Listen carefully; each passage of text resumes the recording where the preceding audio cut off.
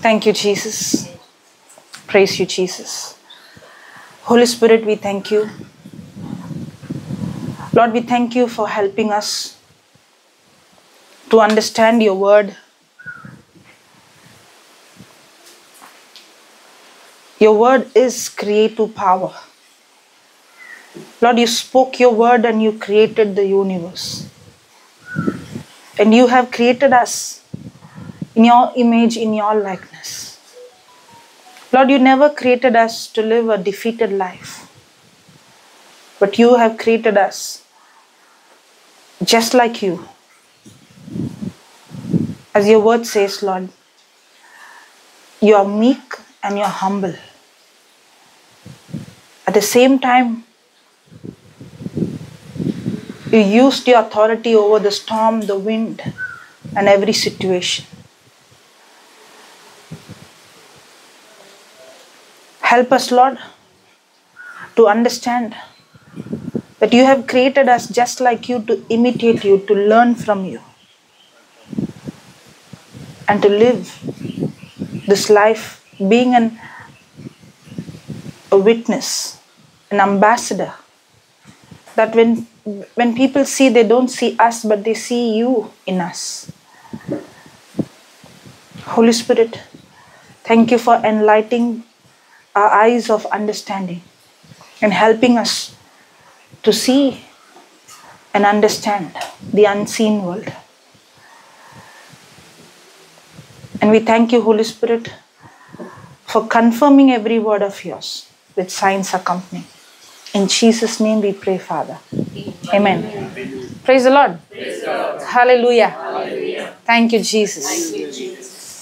So, in the morning, we saw how the words that we speak has power, right? Yes? God's word is creative power. God's word is creative power. Now, I'm not saying God's word has creative power, which also is right, but God's word is creative power. Means the word of God is the source of every other power that we see. Everything that we see is come from His word. How did God create the universe? He spoke and He He created, right? And everything that is created by words respond to words. Everything that is created by words respond to words. Hallelujah. That's why Jesus said, Speak to this mountain. He spoke to the fig tree, Uh, he spoke to the sea.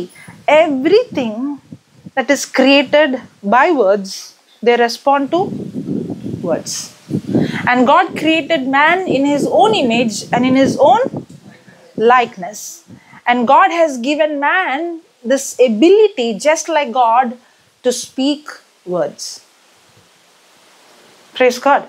Now, when God created the heavens and the earth and everything, the star and the moon, isn't it amazing to see His creation? Yes. Can you see the power in His word? He spoke and He created. Yes. Is that power void today? Void today? No. The, the same power is still available because the same word is given to us. God spoke and He created, right? That same power, the creative power, is still available for you and me. The power is not void, but we avoid of speaking God's word.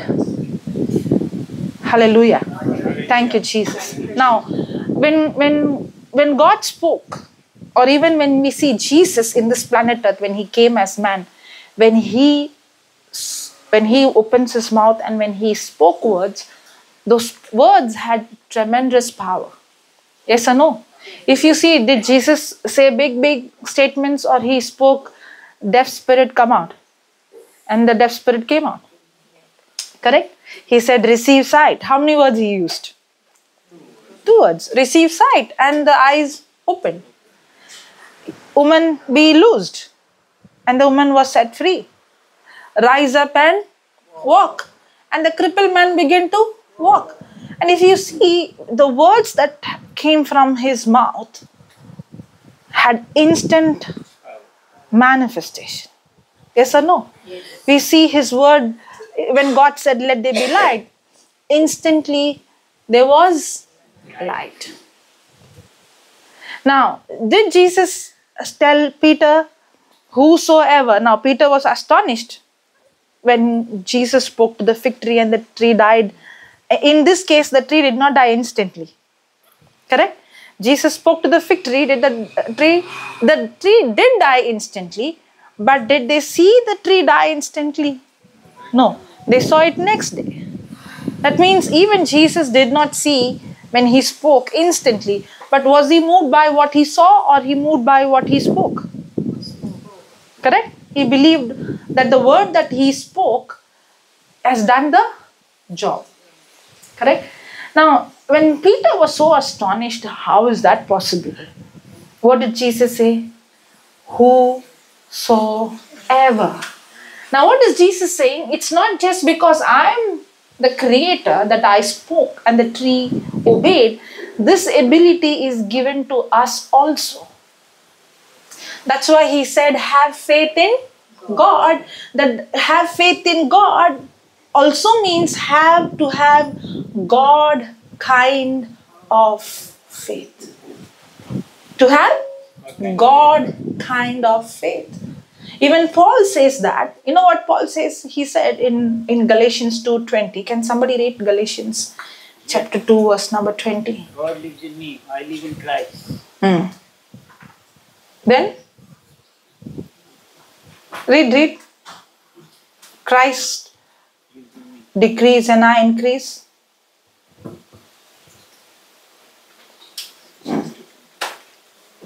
And it is no longer I It is live, no longer I who live, who live, but but it is it is Christ Christ who lives who lives in me. in me. And the life And the life, I now live, the life that I now live live in the flesh. in the flesh, I live by faith, I live by faith faith. in the Son of God. Okay, okay, okay. I will read from the other translation, KJV translation. Okay. um, Galatians 2:20.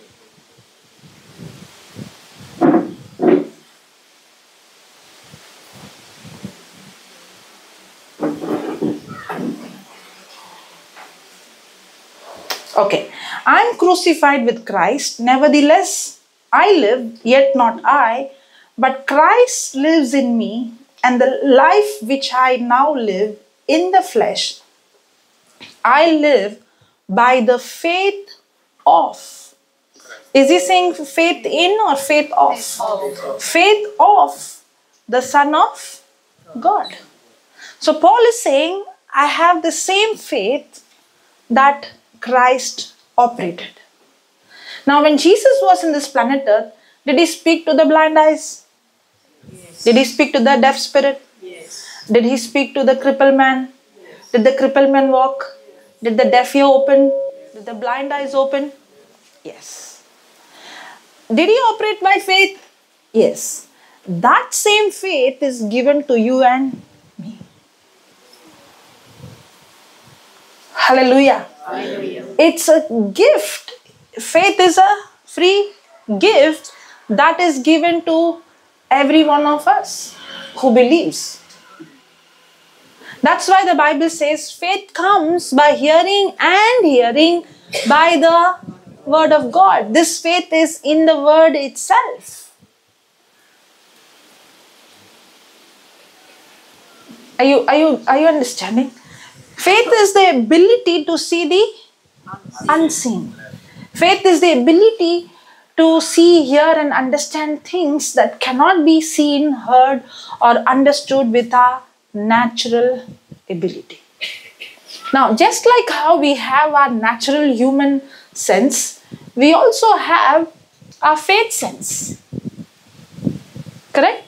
Now, Can we see with our physical eyes? Yes. Did anyone teach you how to see?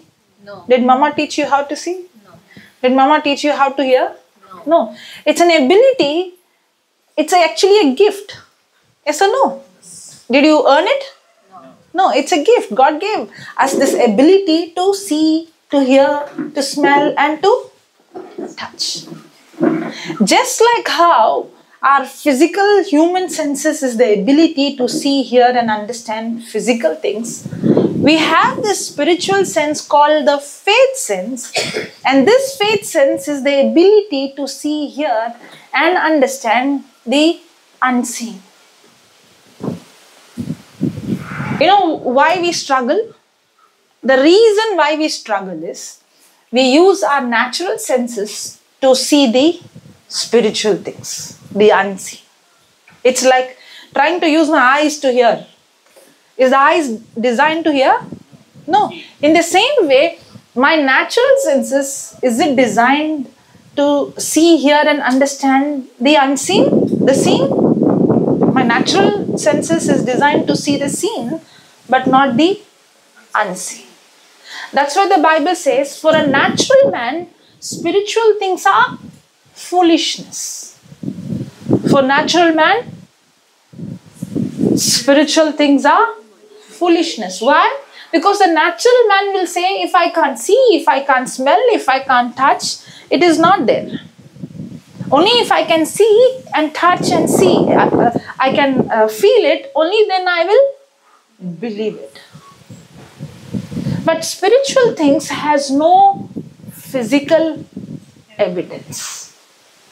But the good news is when God created man, God created man with the ability to see, hear, and understand the unseen.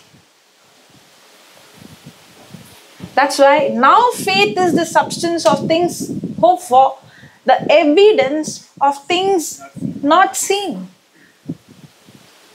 Just like how the seen world is real, the unseen world is also real. In fact, it's more real. More real. It's more real. Because the seen world has come from the unseen world. And the unseen world is the parent, and the seen is the child. And the seen is come from the unseen. Hallelujah. But Jesus every time makes a statement. You have eyes, you can't see, you have ears, can't you hear, nor you understand. Correct? Now, is he speaking about them being deaf and blind? He is not speaking about their natural senses, he is speaking about their spiritual senses. Just like how we have our natural senses, our eyes, our ears to see and hear and understand, we also have our, our spiritual senses to see, hear, and understand spiritual things. But most of us I don't want to use this word, but that makes us understand better. Most of us are spiritually retarded or spiritually handicapped. Have you heard the word retarded? Mentally retarded.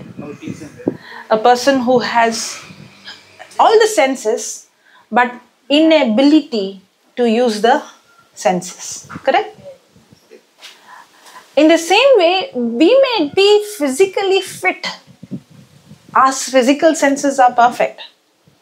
But there is something called spiritual retardation or spiritual handicap. That means I have spiritual eyes, but I couldn't see the unseen world. I have spiritual ears, but I couldn't hear, nor I could understand. That's why Jesus said, You have eyes, can't you see? You have ears, can't you hear? Nor can you understand. Now, what is the solution if I see in my life I, I, I'm spiritually retarded or spiritually handicapped? What is the solution for that? So, there's a very, very simple solution that the word of God has given us in Romans 10, verse number 17, faith comes. How faith comes? Hearing and hearing by the word of God means the more I begin to hear the word, that's when my spiritual senses begins to activate. And what faith is that? That faith is the same faith that Jesus operated in. And I can also walk in that same faith just like Jesus. Faith, faith is what? Faith is the ability to see the unseen. And this ability begins to activate the more I begin to hear the word. Now, he did that scripture does not say faith comes by hearing alone. The scripture says faith comes by hearing and hearing. It's not just hearing from these ears, outside ears. There is another hearing. That hearing comes from within, your, eh, from, from your inside ear. If I give a negative example, we'll understand. If you went to the doctor and the doctor said you have XYZ sickness, how many times you heard from this outside ear? Once. But after you left the clinic, how many times is that word going to speak to you? How many times will I go on Google and find? Sometimes we know more about the sickness than the doctor. Nowadays, we go to the hospital to tell the doctor the symptoms plus the diagnosis. Yes or no? Yes. Now, what are we doing? We, we did not just hear it once, but we keep on hearing it again and again. Hallelujah. You know, uh, one of one of the thing that I'm seeing now, which is dangerous. When we were small, or my parents' time, did they have anything about? They did they know anything about uh, psychological problem, learning disability, autism, all these things? No. No, right? When the when the child is not studying, not studying, that's it. Correct? Now for everything they label.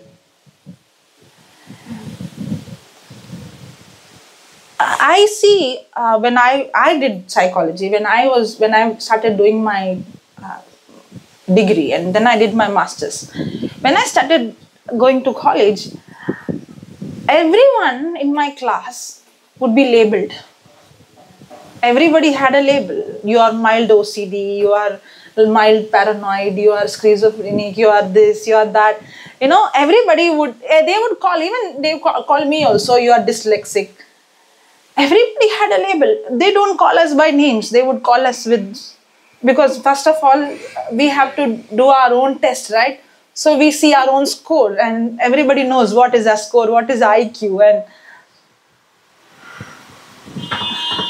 even statistics says the country well developed country where there is all development of psychology and all these resources the recovery of mental sickness is less but the developing country where there is no psychology the recovery is fast you know why because when they don't know they don't label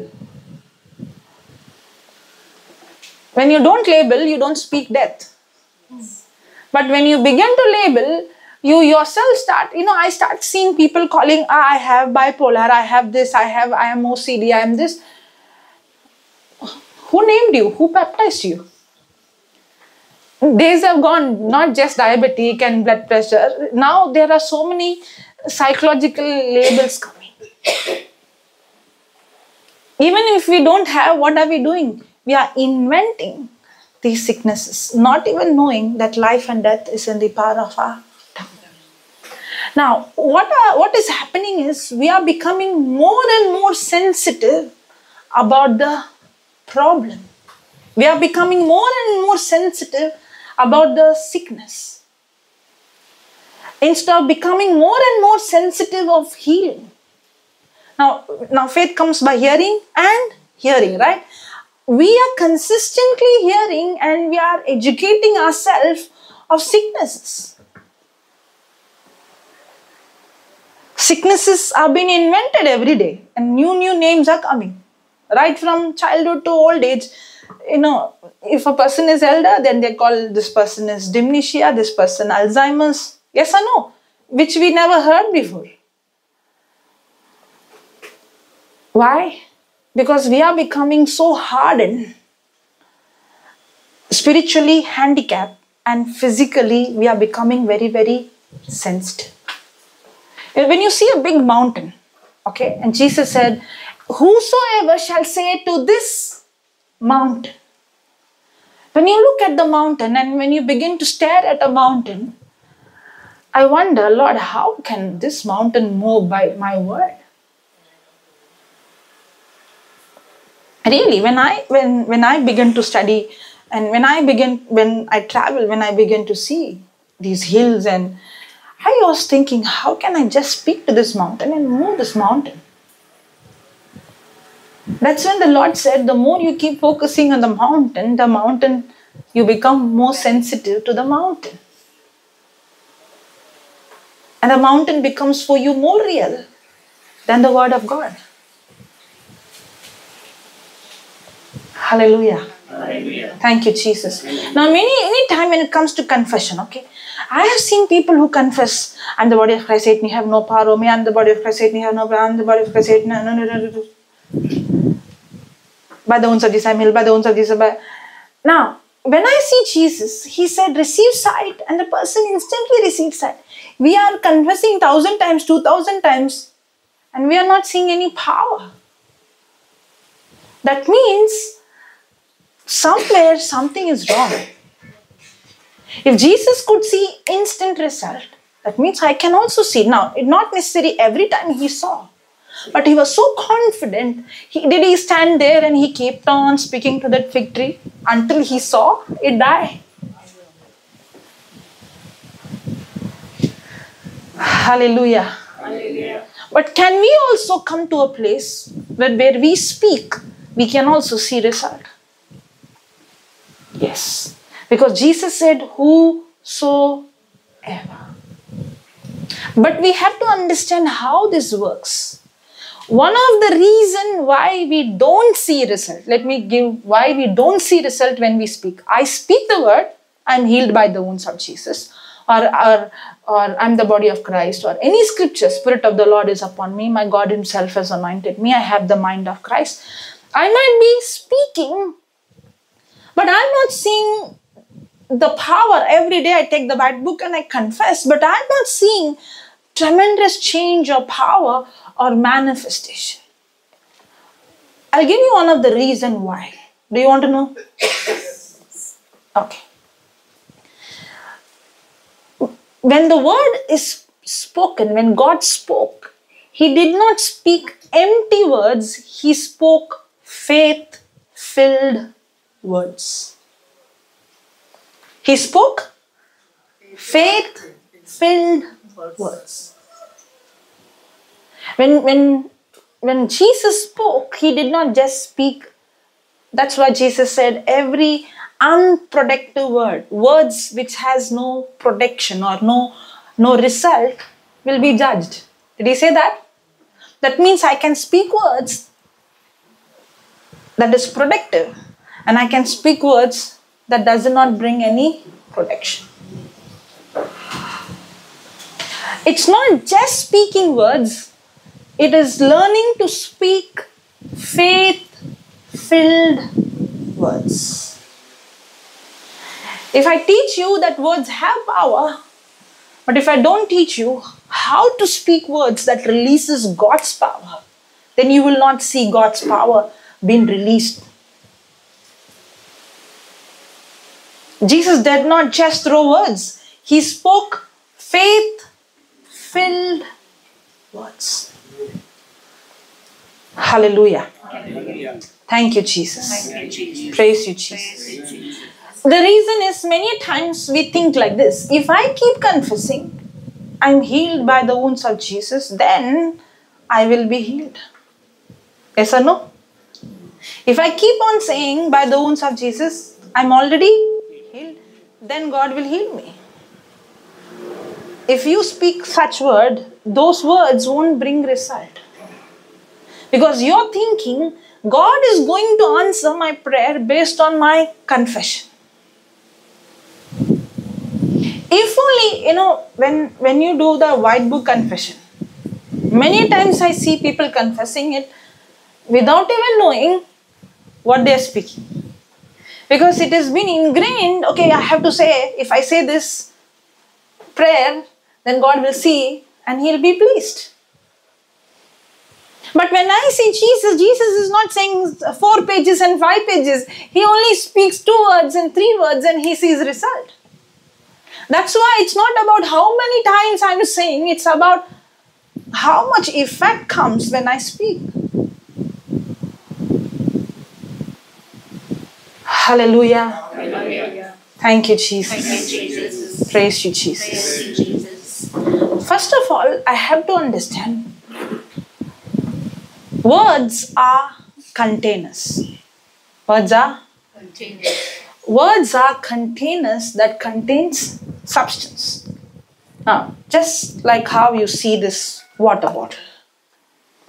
Is it a container? Yes. Does this container has substance called water in it? Yeah. Yes. In the same way, words are containers that contains substance. If the substance is not there, then the bottle is empty. Then our words are empty. And that word doesn't bring any result. Hallelujah. Thank you, Jesus. Words are containers that contains substance. Words are transporters that transport substance. Words are transporters that transport substance. First of all, you have to understand it is not when I speak, God is going to do things. No. Everything that you and I need is already done. For example, healing is done, deliverance is done. God has already blessed us, He has healed us, He has redeemed us, correct? It's finished on the cross. It is already in the unseen. The wrong understanding is when I speak, then God will heal me. Is a wrong understanding. God has already healed me, and the healing is already available. Now, when God spoke, what did God do? God transported the substance from the unseen into the seen. From the unseen into the seen. Praise God. Praise God. Okay.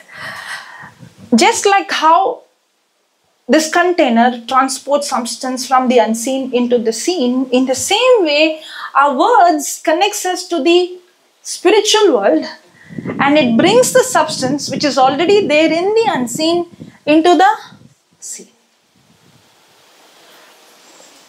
One of the reason, first reason we saw, the reason why we don't see our words bringing result is because we we don't speak faith filled words. And the other one is we speak words thinking if I speak, then God will answer. Now, another reason is when we speak words, the reason why our words are not faithful words, or the reason why our words has no impact is because the words that we speak, we don't believe. The words that we speak, we don't believe. You know why? Because we are trained to speak words that we don't believe. For example, I'll give an example. Do we use words like my head is busting?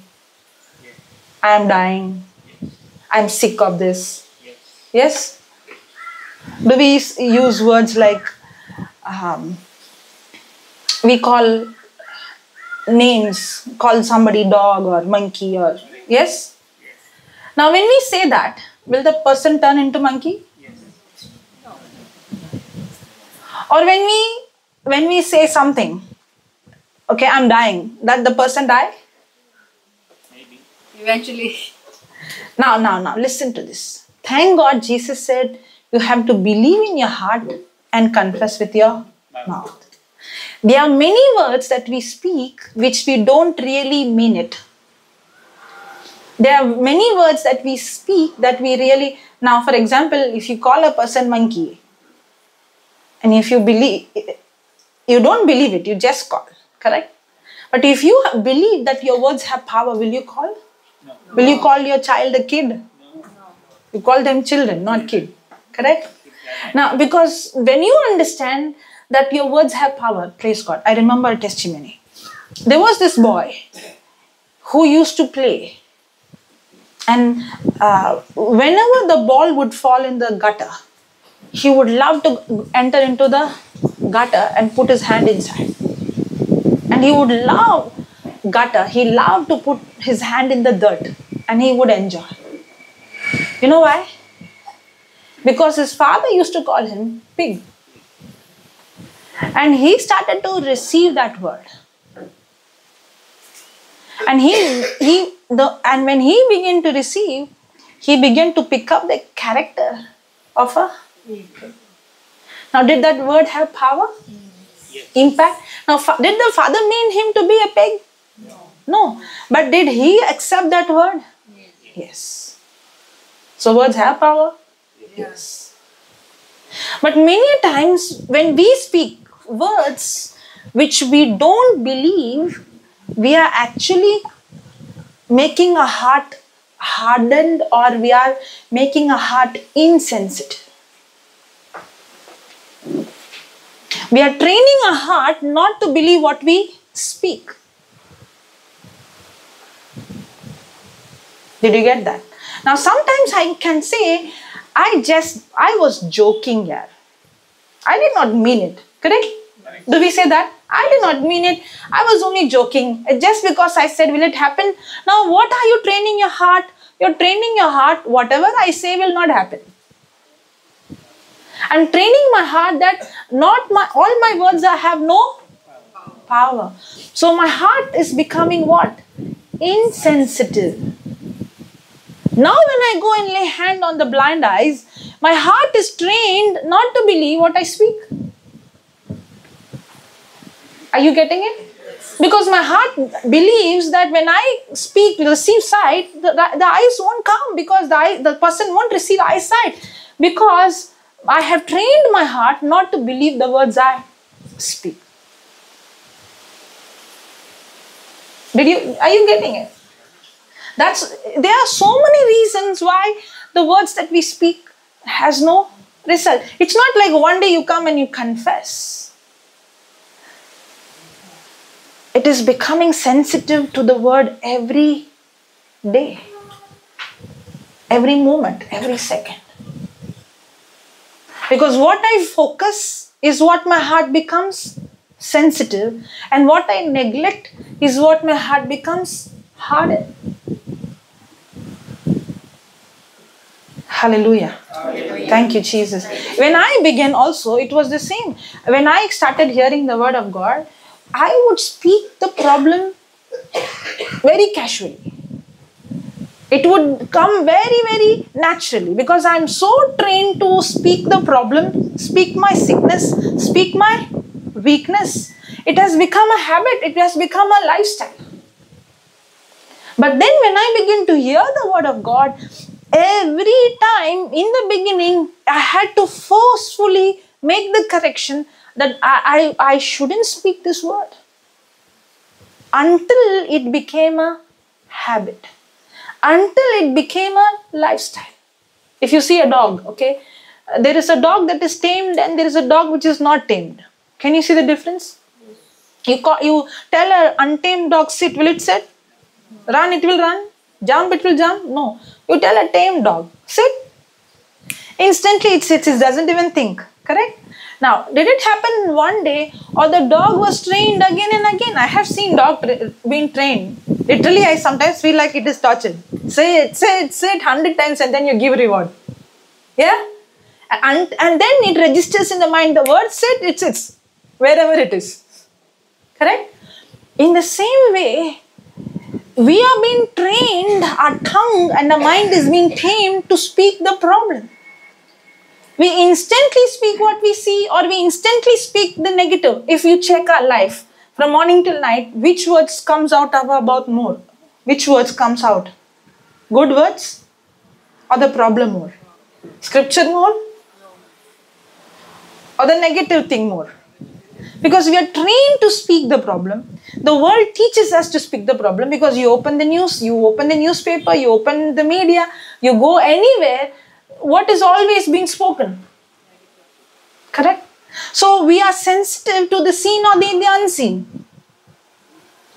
We are sensitive to the seen. That's why our spiritual senses are very, very dull. That's why we constantly open our mouth and speak what we see. But when we come into the Word of God, we have to train our senses to speak the Word of God until it becomes a habit.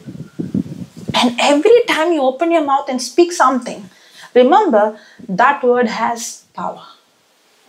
Every time you open your mouth and speak, tell yourself, What I spoke has life. It will come to pass.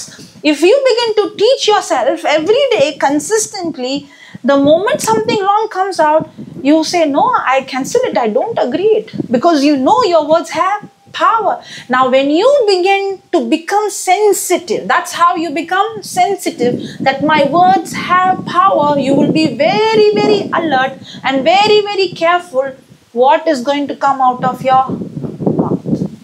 Now, when you go and lay hand on the blind eyes, your heart is already sensitive. You know what you speak has power. Hallelujah. Thank you, Jesus. Did you did you get here? Get till there? Yes? Did you understand? Yes. Is it very, very important for us to be very careful of the words that we speak?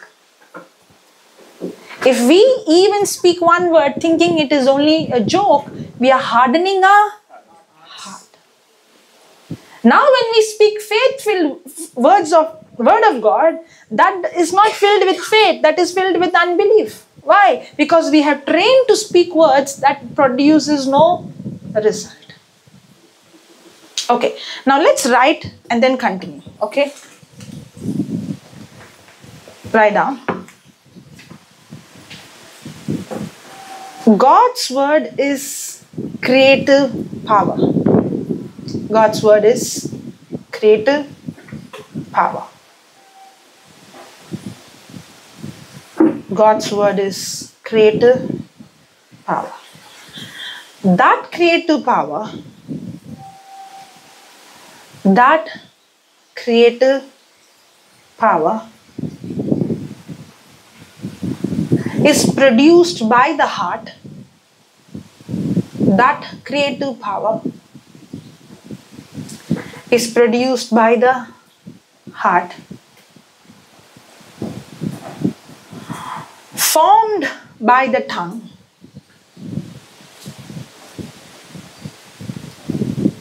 God's word is creative power. That creative power is produced by the heart, not tongue, produced by the heart, formed by the tongue, and released and released out of the mouth in word form. God's word is creative power. That creative power is produced by the heart, formed by the tongue, and released out of the mouth in word form. Okay. Many times the word of the word that we speak is released from our mouth, which is not which is not produced in our heart. For example, you open the white book or you open the scriptures and you start confessing one big page or two, three pages. You run in express train. It comes out of your mouth, but it's not in your heart. The word of God has to be first produced in my heart. Then it has to be formed in my mouth, in my tongue, and then it has to be released from my mouth. That's how faith filled words, faith filled words are released, and that faith filled words is the creative power that creates. Now, what is the first line you wrote? God's word is creative power. Then the next one, that is produced by the heart. Okay, okay, okay.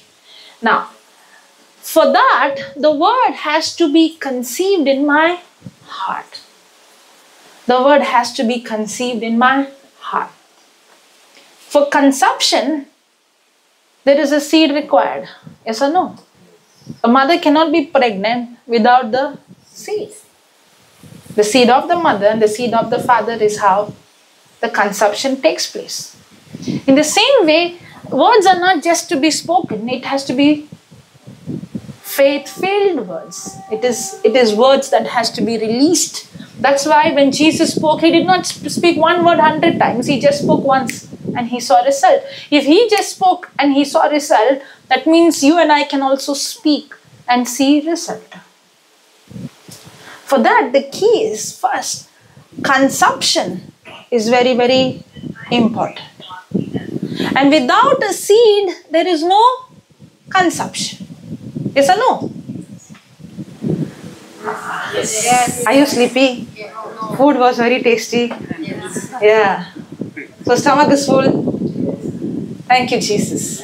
Hallelujah. So is consumption very important? Yes. Yes.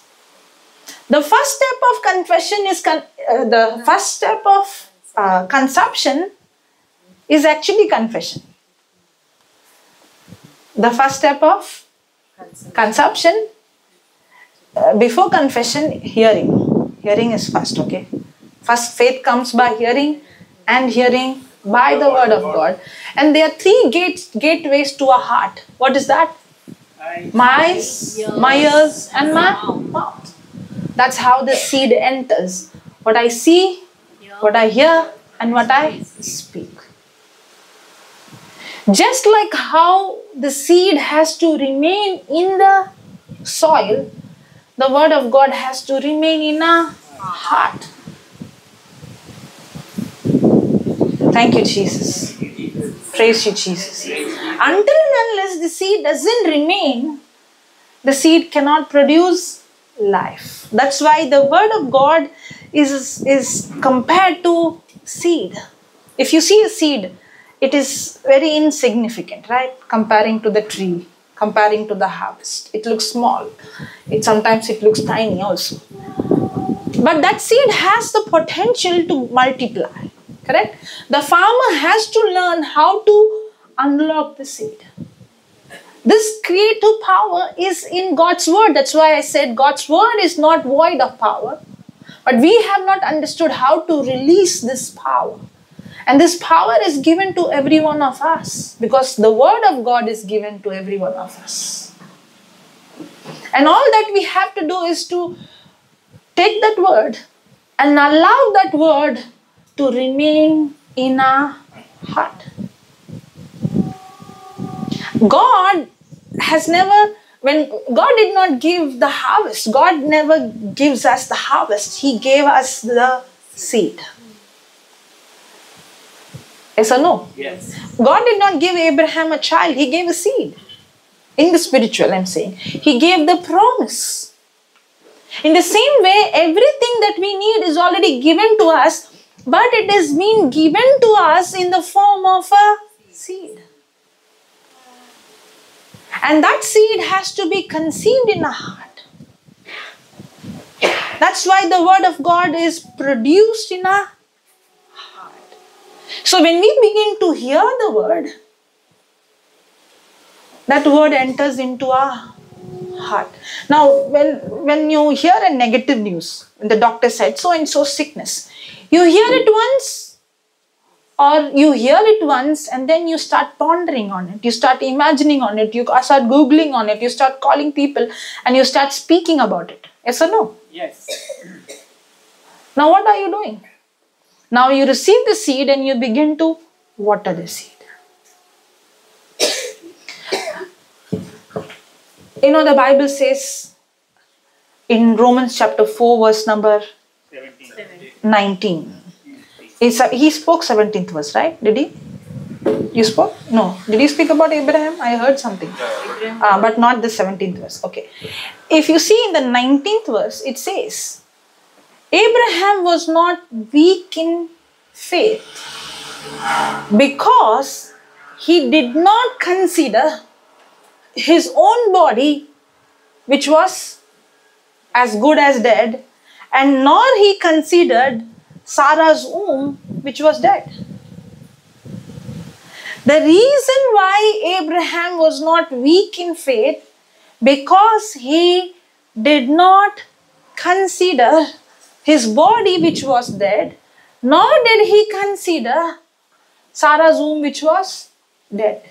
The meaning of the word consider means to think, to ponder, to meditate, to imagine is consider. Now, when the doctor said you have XYZ sickness, what do we ponder on? What do we research on?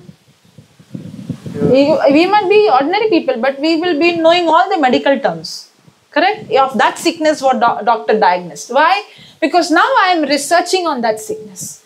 Now I am going and studying on that sickness. Now, you know, during COVID time, they used to put that lungs picture. Yeah. Yeah? Have you seen? Yeah. The, because of the. of uh, eh, on the TV they show the how the inf- they had a lot of uh, graphic uh, uh, videos and how the virus would pass, uh, how it would spread from one person to another person. They made a lot of videos. Yes or no? Yes. How it is affecting the lungs? Yes, yes. How many of you never went outside? You're inside the house. You locked up everything.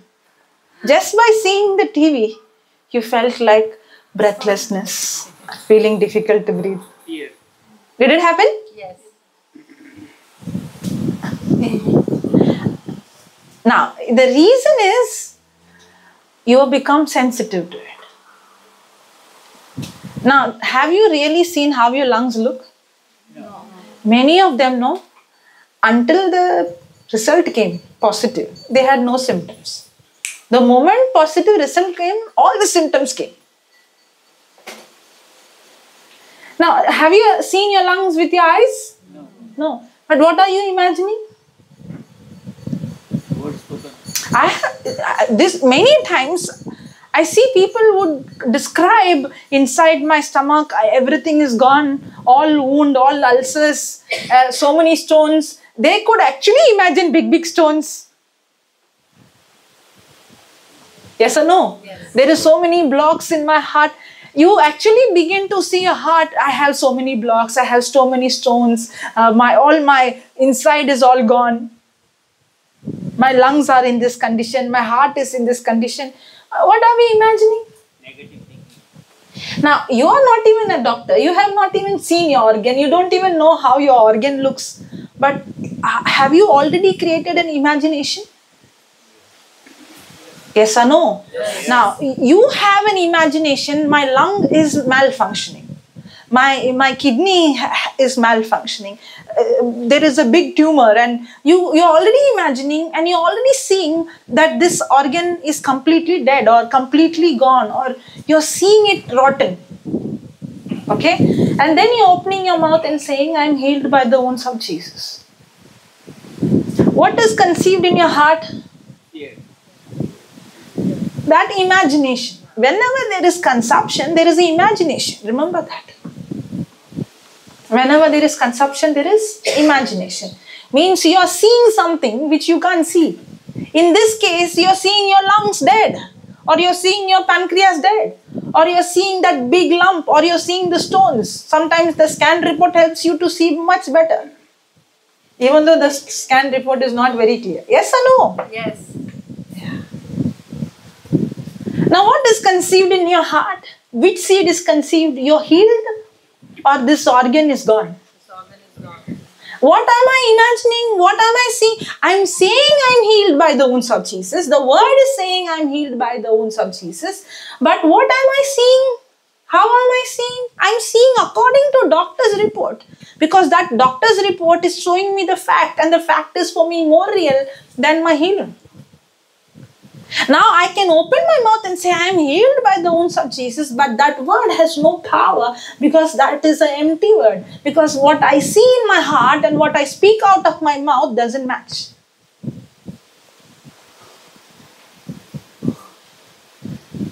And I'm I'm asking question. I've been confessing I'm healed by the wounds of Jesus. Why nothing is happening?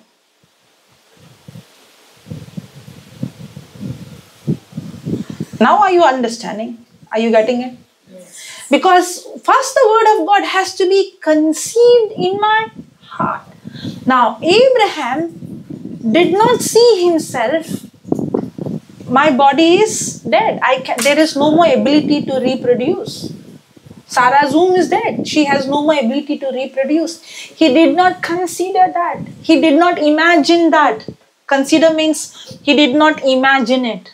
He did not picture that. He did not meditate that. He did not see that. He did not he did not ponder on that.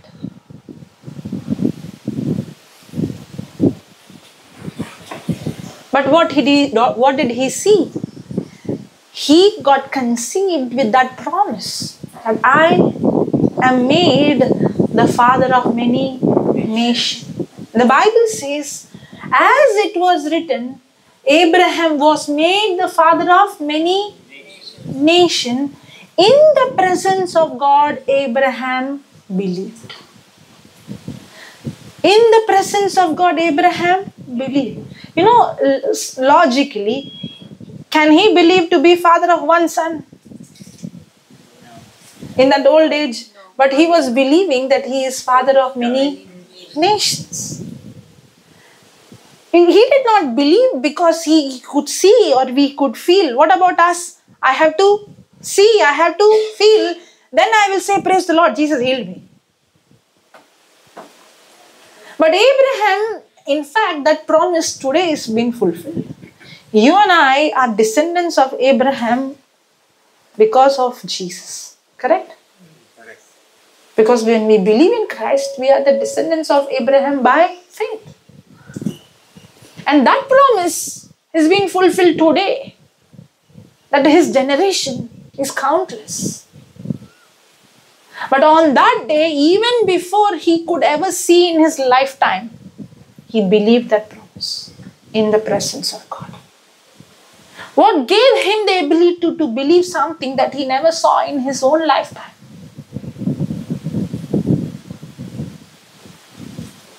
Because he did not consider his own body. Again, let me come back to the COVID example. When we constantly kept on seeing the news and the media and people sending us in WhatsApp, what happened?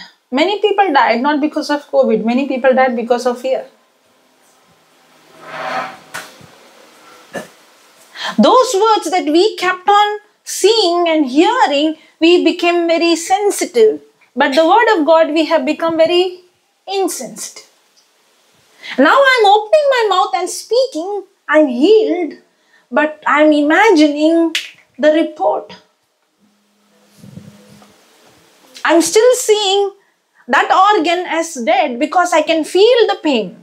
Sometimes you might say uh, it's not about the report, uh, imag- uh, the image in the report, but I could feel it. No, I could feel the pain. I could see the swelling. I could see the symptom. You don't know what I'm going through. You don't have right, so you will not know. If you are in my condition, then you will understand what I'm going through. Yes or no? Yes.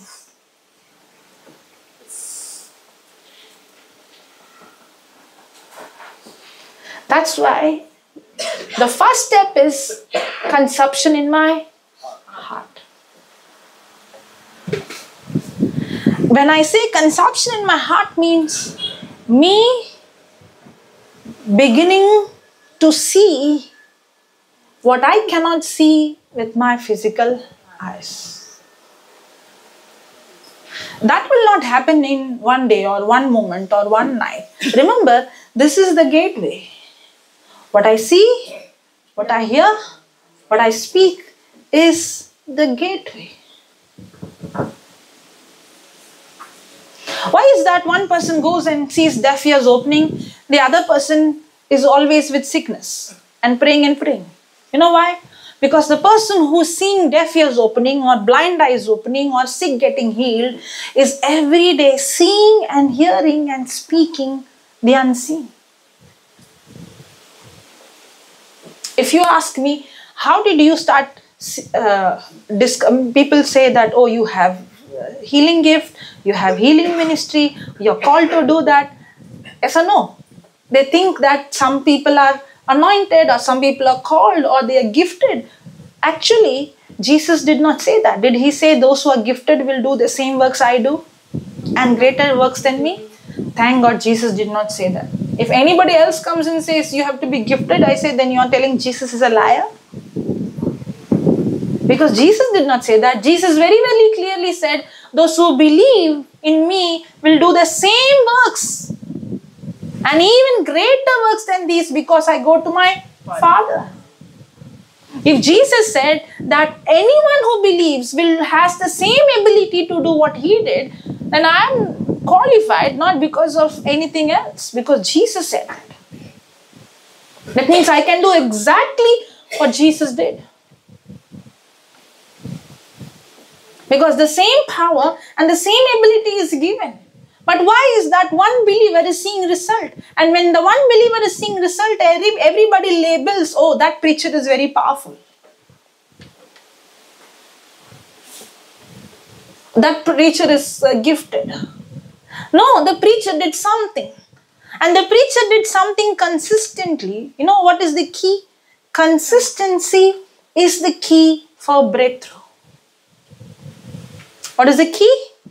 Consistency is the key for breakthrough. What is the difference between a normal person and a champion? The difference is what a normal person does occasionally, a champion does every day. That's the difference. Yeah. I took the sayings from the Bible, you are taking the saying from the world. Praise God.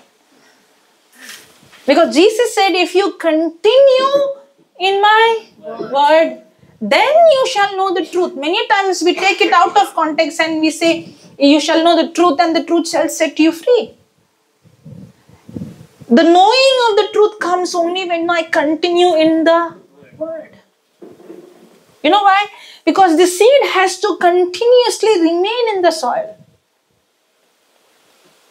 You know, I remember when I was in school, um, teacher said, you know, in the science book, you have this diagram, uh, the seed, and then you see the root. The first the root coming, correct, and then a sprout coming, and then the leaves coming, and then a big plant. Correct? You have that? You all also have. Praise God. Now, Uh, also the teacher said, go home and plant the seed. Only in my school. no, no Now, now when when the teacher said, I remember I came home and I put that seed, you know, that coconut shell, and near the window, and I waited for at least two hours. Nothing came. Then I started to dig, and I took the seed, expecting some roots would have come. Nothing came. I kept inside. Again, I waited for another one hour. Then again, I digged. Again, I saw the seed. Nothing came. Now I'm wondering what happened in the science book is not happening here. Again, I kept the seed back. Then my mother saw me digging and digging every time. She said, If you keep on digging, nothing will happen. That's what we are doing in our Christian life. We keep on digging and digging. Nothing is happening. My mother said, You need patience. It doesn't happen just like that. but it will surely work if you allow it to remain in the soil. In the same way, if you allow the word to remain in the heart consistently, that word will 100% brings result. But we are not like that, no? We are impatient. We want everything instant, like Maggi noodles. I have to speak and I have to see. If I don't see, then I begin to dig and I say, it's not working, and I throw it. That's when the consumption has become an abortion. Hallelujah. That's why this the word has to be conceived in a heart. It has to be produced in a heart. The consumption has to take. For the consumption, the seed has to remain. If it doesn't remain, then it cannot be released with the mouth. Very easy to say, no, life and death is the power of my tongue. Finish. You have to speak life, don't speak death. But when you go deeper, is when you understand. Hallelujah. Thank you, Jesus. That word has to remain.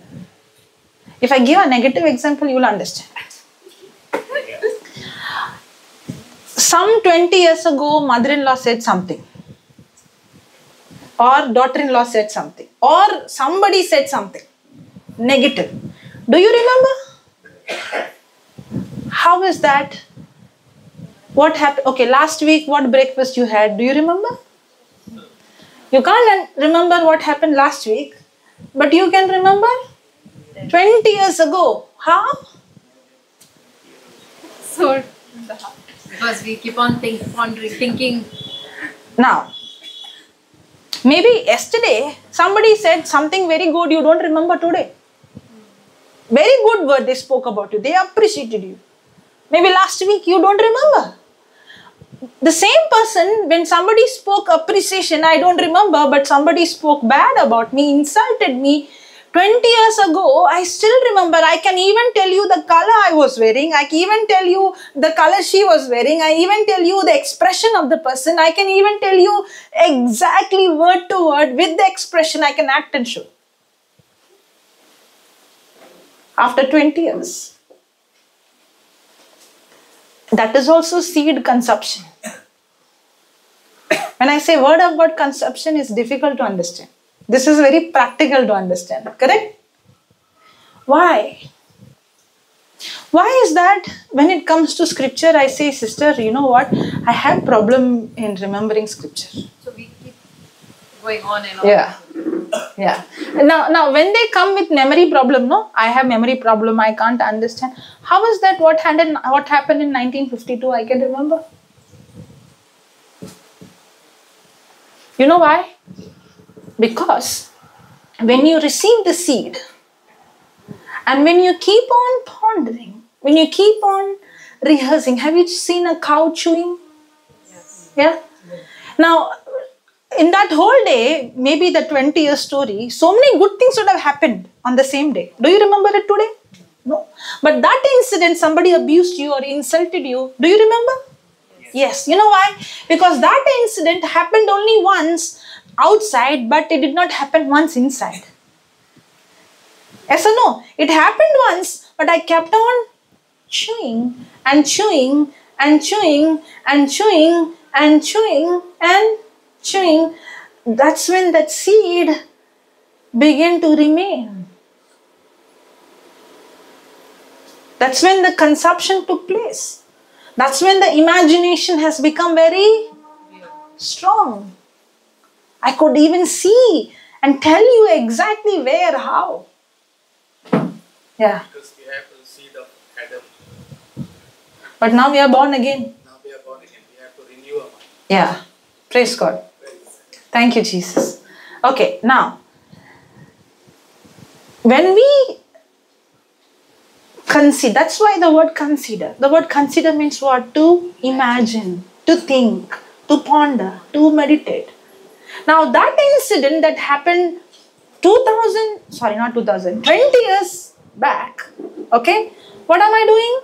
I am chewing I am meditating, I am imagining, I am rehearsing. You know, sleep is such a gift from God. When you sleep, there is a very uh, beautiful process happening. Some people get tormented in sleep. They get bad dreams. They get beaten up. They get they get attacked in sleep. You know why? Because of the seeds that you plant in the daytime, it affects you in the night time. If I see in the Bible, many of them received messages, supernatural messages. God spoke to them, gave them direction in the sleep. Why? Because they were planting good seeds in the daytime that connected them to God's kingdom. Because even when I'm sleeping, God is still working. Now, when we are sleeping, all those things which we consider important, our brain is processed to water it and strengthen it. That's why when you get up in the morning, many people get up with headache. Why? You might be sleeping, but there is a demonic war going on because of that seed of hatred that was planted. But if I am going to, what did Abraham do? He did not consider his body which was dead, nor Sarah's womb, but he was considering, he was imagining, he was pondering, he was thinking, he was researching, he was studying on what God promised. I am made the father of many nations. That's why when he was sleeping, also, the Spirit of God was, was working. And and and even when was when he was sleeping the brain the physical body also is is programmed to strengthen that memory. That's why you don't remember everything. When you go out you see 50 people's face. Do you remember all the face? No but one person abused you you remember yes because when you go to sleep all those data which is you consider not important your brain deletes it and what you consider important your brain strengthens it that's why you still remember what happened 20 years ago. Because your every time you sleep, that information is strengthened. Are you getting it? Now, that's exactly how it is with sickness. The more I keep on feeding myself with not only my sickness in general, if I am going to feed with all the information of the world, of all the problem, my heart becomes very, very sensitive. Now, when I open my mouth and speak, the consumption in my heart is of the problem, but the words I speak is God's word. That's why there is no result.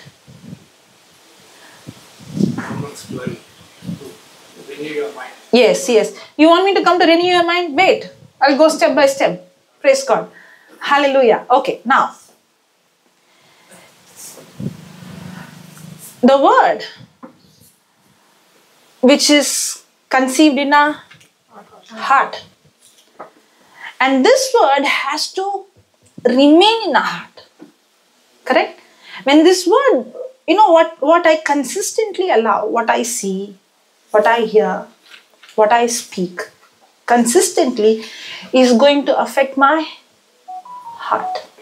And this word that I allow is going to produce that kind of imagination. When it comes to healing, okay? I'll give an example.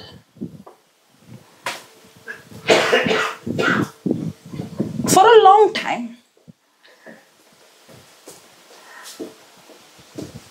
I used to think that these healings are not real. I have never seen any kind of healing happening. For the first time, I met uh, Papa Johnson in one uh, a disabled, uh, physically challenged home, and I saw with my eyes this girl had a crooked lips, and her lips became straight. And I saw another person who was born deaf, his deaf ears open. Now, when I saw that, he was preaching on that day, Mark 16, verse 17, and he said, These signs shall follow those who believe. In my name they shall cast out demon, they shall speak in new tongues. When they lay hand on the sick, the sick shall recover. Now, when I saw the whole thing, did I only see, or there were many of them attending the retreat? Many.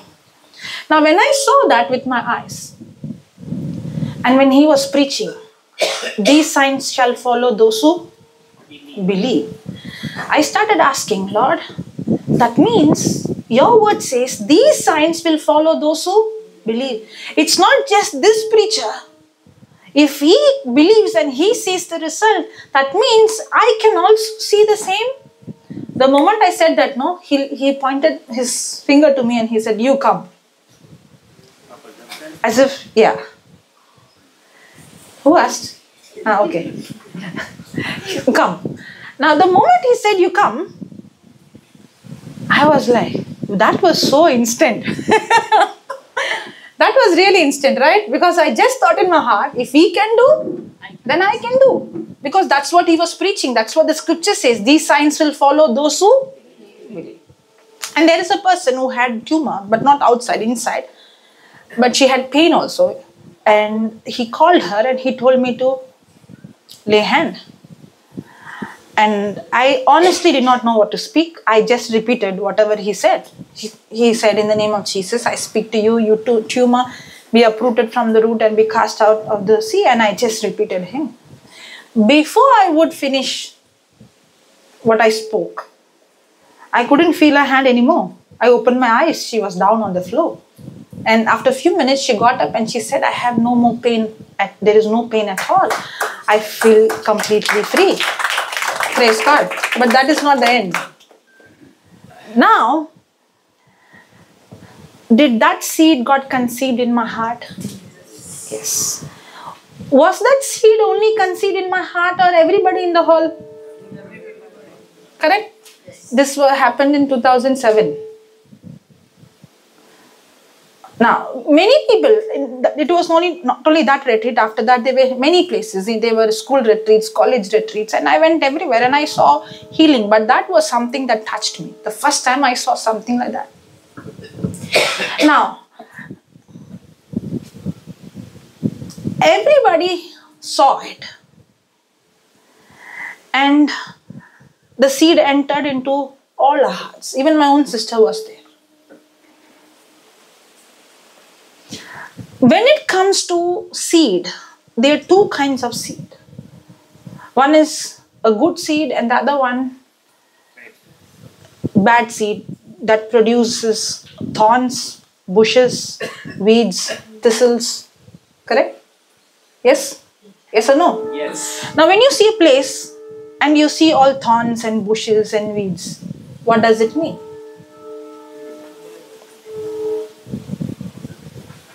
Nobody took any time to plant, water, manure, clean, uproot.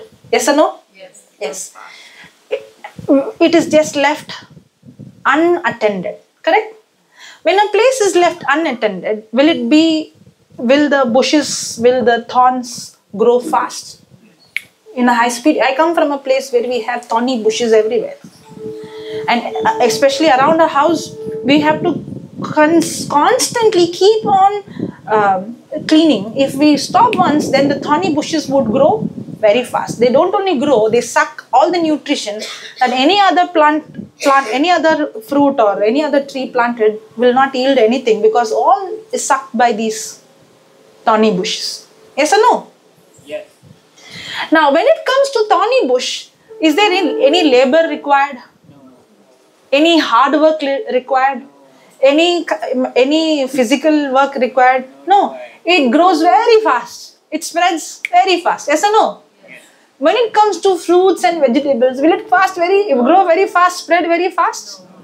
Whenever you see a beautiful garden with beautiful flowers and fruits and vegetable, what does that mean? When you see thorns and bushes, means it is unattended. When you see a, uh, a garden with fruits and vegetable, means somebody is working behind it. Yes or no? Yes. It did not. It did not spread. It was planted. It was watered, and it is not just planted and left. It has to be con- continuously pruned. The weeds has to be removed. Yes or no? Yes. A gardener cannot say, okay, I planted this seed, my job is done. Can he? No. No. There is labor required.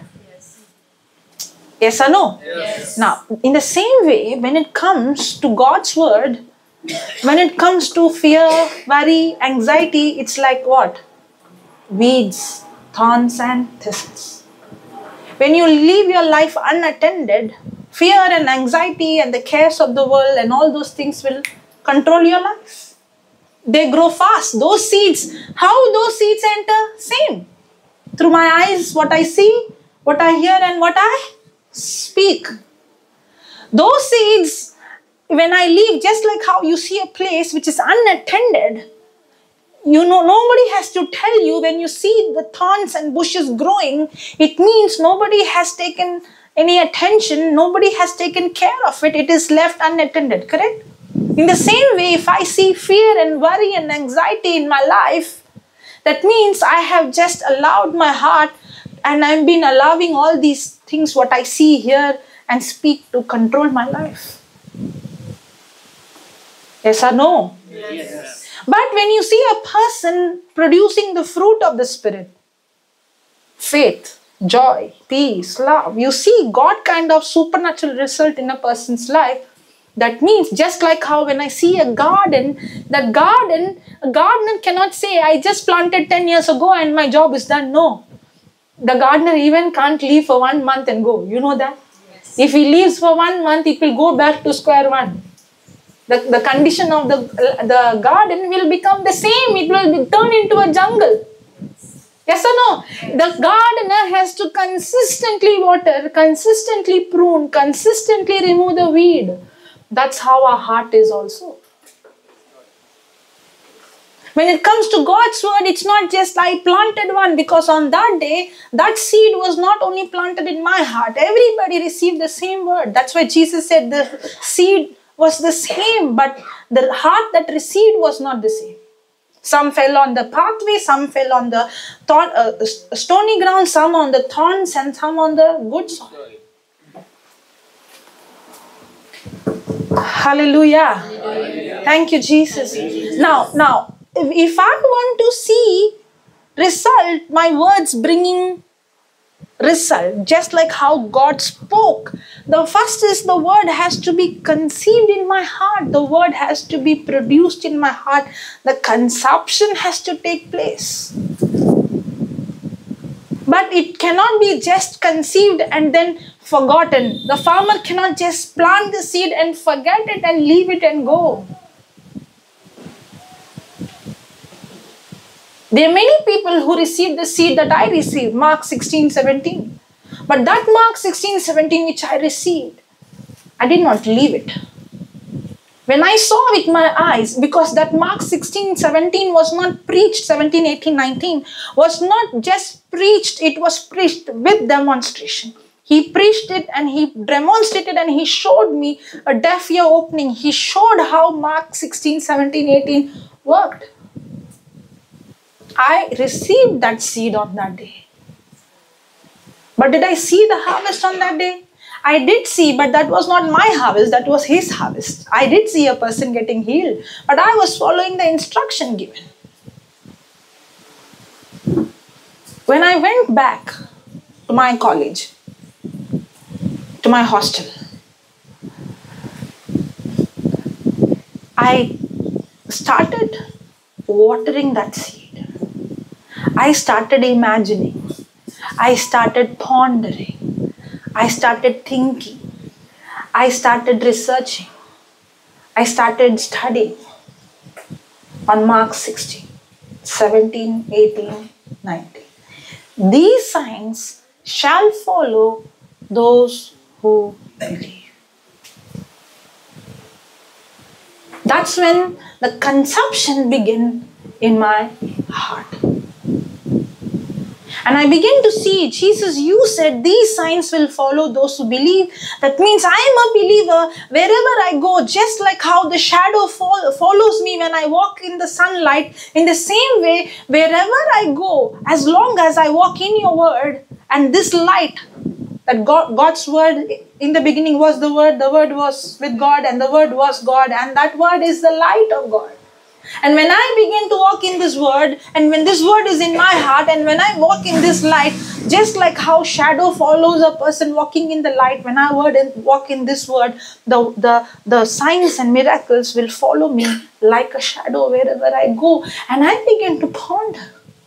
When I lay hand on the sick, the sick shall recover. I did not hear, uh, uh, you know, one day sermon. I only took one part of the sermon. Maybe in that day there so many things he was preaching. But I was not focusing on everything. I focused on that one thing. I was focusing on going depth. It happened so many years ago, 15 years ago. And today also it's so fresh for me. Why? Because it, that, that consumption took place. And I began to water it. And I began to imagine it. I began to ponder it. I began to think about it. And I began to see that the same power is in me. The same Christ is in me. Because I can do the same things what Jesus did. And these signs will follow those who believe. After three days or four days, I got, uh, you know, uh, information in my hostel. One of my um, uh, friend, she's not even a Christian, that she's very sick, she's on the bed, and her parents are coming to take her home. We were in hostel at that time. The moment I heard that news, I tell you, I also heard the voice of God. Now, I, I did not hear audible voice of God telling Joselin no. It's it's it's a um, a, a, a kind of Heart speaking. thought Thought. that is coming very strong. And I know that's God speaking to me. And that and, and I begin to hear his voice. When I say voice, I, I, I recognize his voice. That I have to go and lay hand. Because that scripture doesn't even say lay hand on the sick and pray. It says when the believer lay hand on the sick, that's all. Not even pray. When the believer lay hand on the sick, the sick shall recover.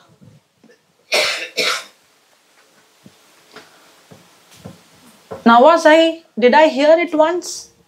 Was I only hearing, or everybody in that auditorium were hearing? Everybody. Now, I'm not saying none of them practiced. They would have, I don't know. But not everybody practiced it. If I would have gone and asked some of them, they will say, which man, which retreat, I don't remember. Because I'm talking something of some 15 years ago. My sister was there at that time. She was not touched. Even though she was sitting there, she was not touched. If I would ask her, I don't even know that he spoke about Mark 16, she might say. But now she is. Praise God. Hallelujah. Thank you, Jesus. Now, when I heard that news, I still remember. I, I, already activated the gift of tongues and I started praying in tongues. Let me tell you, the Bible says we have a helper. We have a helper. You know why? Because the thoughts were saying on that day, Brother Johnson was there. So when you said it happened because he was there. Because if it would have not happened, he's still there to deal it. Correct? Does it happen? When the preacher calls you and the preacher tells you to repeat, and when you're repeating what the preacher tells, you are confident because the preacher knows to handle it. Yes or no? Now the thoughts are coming.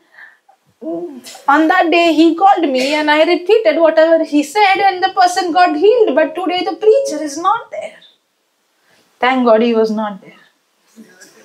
You know why? Otherwise, I would have depended on him, not on the Holy Spirit. Yes. Jesus. Jesus. Hallelujah. You can clap, but will you also practice? Yes. Ah, then clap. Praise God. Thank you, Jesus. Okay, now. I remember, now I can remember it so well. I can tell you my room, the path I was walking, that room where that girl was. Why? Why? Because it, it, it had a cons- it, it, it become a consumption in my heart. It happened 15 years ago, but it is so fresh in my heart. That means you no need to only take those bad incidents and remember. When you come to God, Now, God is teaching you because weeds will automatically grow. Those bad things you don't need even to labor, it will by itself get stuck in your heart. Correct? You will keep on pondering and thinking. But when it comes to Word of God, you have to deliberately, purposefully make the choice. And I began to walk to that hostel. And I'm saying, Lord, I don't feel anything. The preacher is not here. I'm only going because I have never done any healing before. But what gave me the confidence? You know, remember one thing. What you when you ponder again and again and again, that's when you begin to hear the voice. There is a difference between a person studying the word, reading the word, and the person hearing the voice from the word. There is a difference. When you hear the word, voice from the word, that voice is what gives you confidence to go and do what the word says. Now, what gave Peter the confidence to step out of the boat? Because he did not just hear the word, he heard the voice. Now, I heard the word when, the, when he was preaching, when the preacher was preaching, these signs shall follow those who believe. When the believer lay hand on the sick, the sick shall recover. I heard the word. But on that day, I did not just hear the word, I heard the voice coming from the word that gave me confidence to step out. But but the, the, the word I received and the voice I received did not happen instantly. When I kept on pondering again and again, meditating again and again, chewing again and again, that's when I begin to hear the voice that came from the word. Now, if I say negative example, you'll understand. When you keep on, what is depression? In depression, people say, right? I hear voices. From where do you think the voice came? Because you kept on meditating, thinking, one thought multiplied into multiple thoughts, and again and again and again, and pondering and pondering, pondering. At one point of time, you begin to hear the voice You're good for nothing, you're stupid, you go and die, why are you living? Does that voice come? Yes. Ah, that we understand. Now, how does that? How did that voice come? Because you were chewing, meditating on the problem. When you keep pondering, keep meditating, keep chewing the problem, that's when you begin to hear the voice that comes from that what you're meditating. That's the voice of the enemy. That's why it's not about studying too many things. I did not, I went for a retreat, and that retreat, what happened 15 years ago, I remember today. You are going for every month retreat. Do you remember four months ago what you learned in the retreat? No. That's why it's not about how much you are hearing. It's it's not about how much you are eating. It's all about how much you are digesting. If you are eating from morning till night, no time to digestion, what will happen? Everything will come out. Yes or no? Yes. I took that one part, that one scripture, and I went again and again and again and again. I kept on chewing and chewing and chewing and chewing and chewing and chewing until I began to hear the voice, and that voice gave me confidence to step out. That voice pushed me. And I went. Honestly, I never laid hand on anybody. I, I am not a preacher's daughter. In fact, if I would tell about my dad, he was not now, before. His colleague saw me and said, You are so and so daughter? I said, Yes. Your father hates anybody carrying Bible. He would say preachers are the biggest criminals. Are you really his daughter? I'm not a preacher's daughter, if you think like that. My father would say, those who are criminals would show outside they're criminals, but those who are preachers, they are the biggest criminals because, because of the wrong example. But that wrong example is not going to show us who Christ is, correct? Yes or no? Yes. Praise God. But today, he's the same father, he tells me you're doing the best job in the world. Hallelujah. Hallelujah. Thank you, Jesus. Praise you, Jesus. Have not, I have not brought up in a uh, in a environment of faith or speaking to the problem or healing the sick. No. When I walked inside on that day, I did not have any background. Sometimes my father used to explain to me Big Bang Theory, evolution, we came from monkey, all those things. He was a logical man, a self righteous man. Be good, do good. Praise God. Praise. Hallelujah. Hallelujah. And I, and if you think that I have a background like that, no. But then when I walked into that room, I said, Lord, I don't know, but your I heard your voice and your word says, when the believer lay hand on the sick, the sick shall recover. And this girl is not even a Christian girl. And I go and lay hand on her. And I knew another scripture. I knew only one or two scriptures. I, I Galatians 3.13 and I did not know what to do. So I told her, "Can you confess Galatians three thirteen? And I made her repeat me. Christ has redeemed me from the curse of the law by becoming a curse in my place. Within few seconds, I saw her sweating, and she just got up from the bed. I didn't even tell her get up, and she started to walk. And she said, "I'm free now." And at least four, five of them were in that room. And all of them saw and they were astonished. Myself was astonished. And they said, What is that? And I said, we all, You all want experience? They said, Yes. And we all started to speak Galatians 3:13. Christ has redeemed me from the curse of the law. In the beginning days, anybody I go, anywhere I go, I give that scripture and I would lay hand and I would see eye problem, ear problem, leg problem, they would get healed. Because that is the one scripture I knew. And all of them in that room were hit by the power of God and they were on the floor. In fact, one girl who came from the next room saw and she went and complained to the warden and then started all the problem. I couldn't even go to that hostel. It, you know, we have multiple hostels uh, for for few few months. I couldn't even go that side. Hallelujah. Hallelujah. That was my first experience. Did I receive the seed? Did everyone receive the seed? But did everybody see the result? No. Now I can stop there and I would have said it's okay. And I would have continued continued my life. Just like how a gardener, he cannot say one last whole year I took care of the garden, this year I will take holiday. Can he? No matter how many years you took care, when you take holiday, the garden will go back to the same position. In the same way, no matter how many years I've been guarding this heart, the moment I stop guarding this heart, again this heart will go back into the same position. That's why there is no holiday. Planting the seed, hearing the word, seeing and speaking is the first step. But consistency is the key for breakthrough. That seed has to remain in my heart.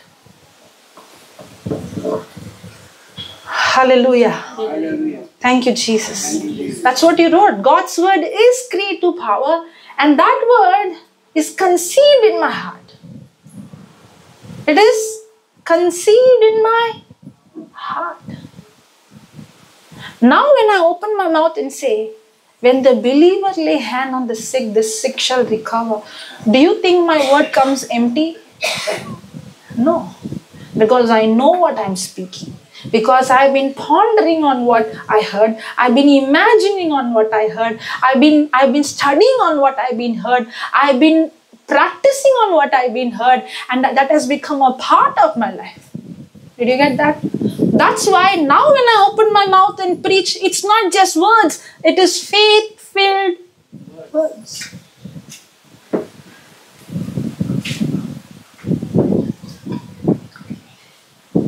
That's why when Jesus said, receive sight, it's not just words. He knew what he's saying. And he knew that every word has power. That's why every word comes out of his mouth came with confidence. Can we also come to that place? Yes. But what is the key?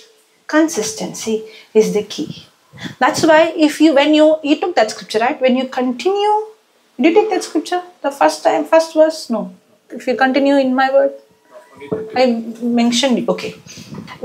If you continue in my word, wait, wait, wait. You come in between and my flow gets, I'll give you last chance. If you continue in the word, In my word. yeah, in my word, you shall know the truth. Now, why is he saying continue? Because, okay, give me something. Example, okay, I'm using your khaki. Okay, now this is a seed. The seed is not so big. Yeah, some seeds are big. Ah, okay, mangoes. Now, if I break a mango seed, can I see inside mangoes? Can I see branches? Can I see leaves? Can I see fruit? But is it there inside? Yes. Just because I can't see, even if I break it and smash it. Why I'm saying this example? Because I tried when I was small. because I'm curious, I thought tiny, tiny something will be tiny, tiny leaves, tiny, tiny branch. Nothing was there. Correct? But if that seed remains in the soil, soil then what is inside begin to correct the seed is unlocked correct in the same way the word of god is the truth truth has a hidden mystery hidden secret. The secret is inside. It is hidden. It's a mystery. No human mind can understand with his own ability. That secret has to be unlocked. When that secret is unlocked that secret that is unlocked is what is going to bring freedom is going to bring result that's why jesus said when you continue in my word the truth is the word the, the secret is in the word, the answer is in the word, the solution is in the word. Just like how the seed has to remain in the soil, in the same way, when we continue in the word, the word remains in my heart. Only then the truth in that word which cannot be seen, the mystery in the word that cannot be seen, the freedom in the word that cannot be seen is unlocked. That's why Jesus said, When you continue in my word, then you will come to know the truth which is hidden. The unlocking will not happen without the seed consistently remaining in the soil. Did you get that?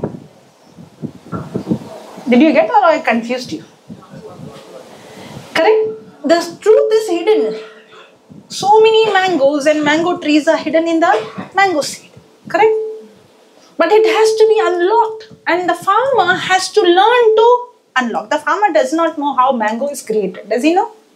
How leaves are created. Does he know? No. But the farmer knows the system of how a seed works. He has to learn to unlock.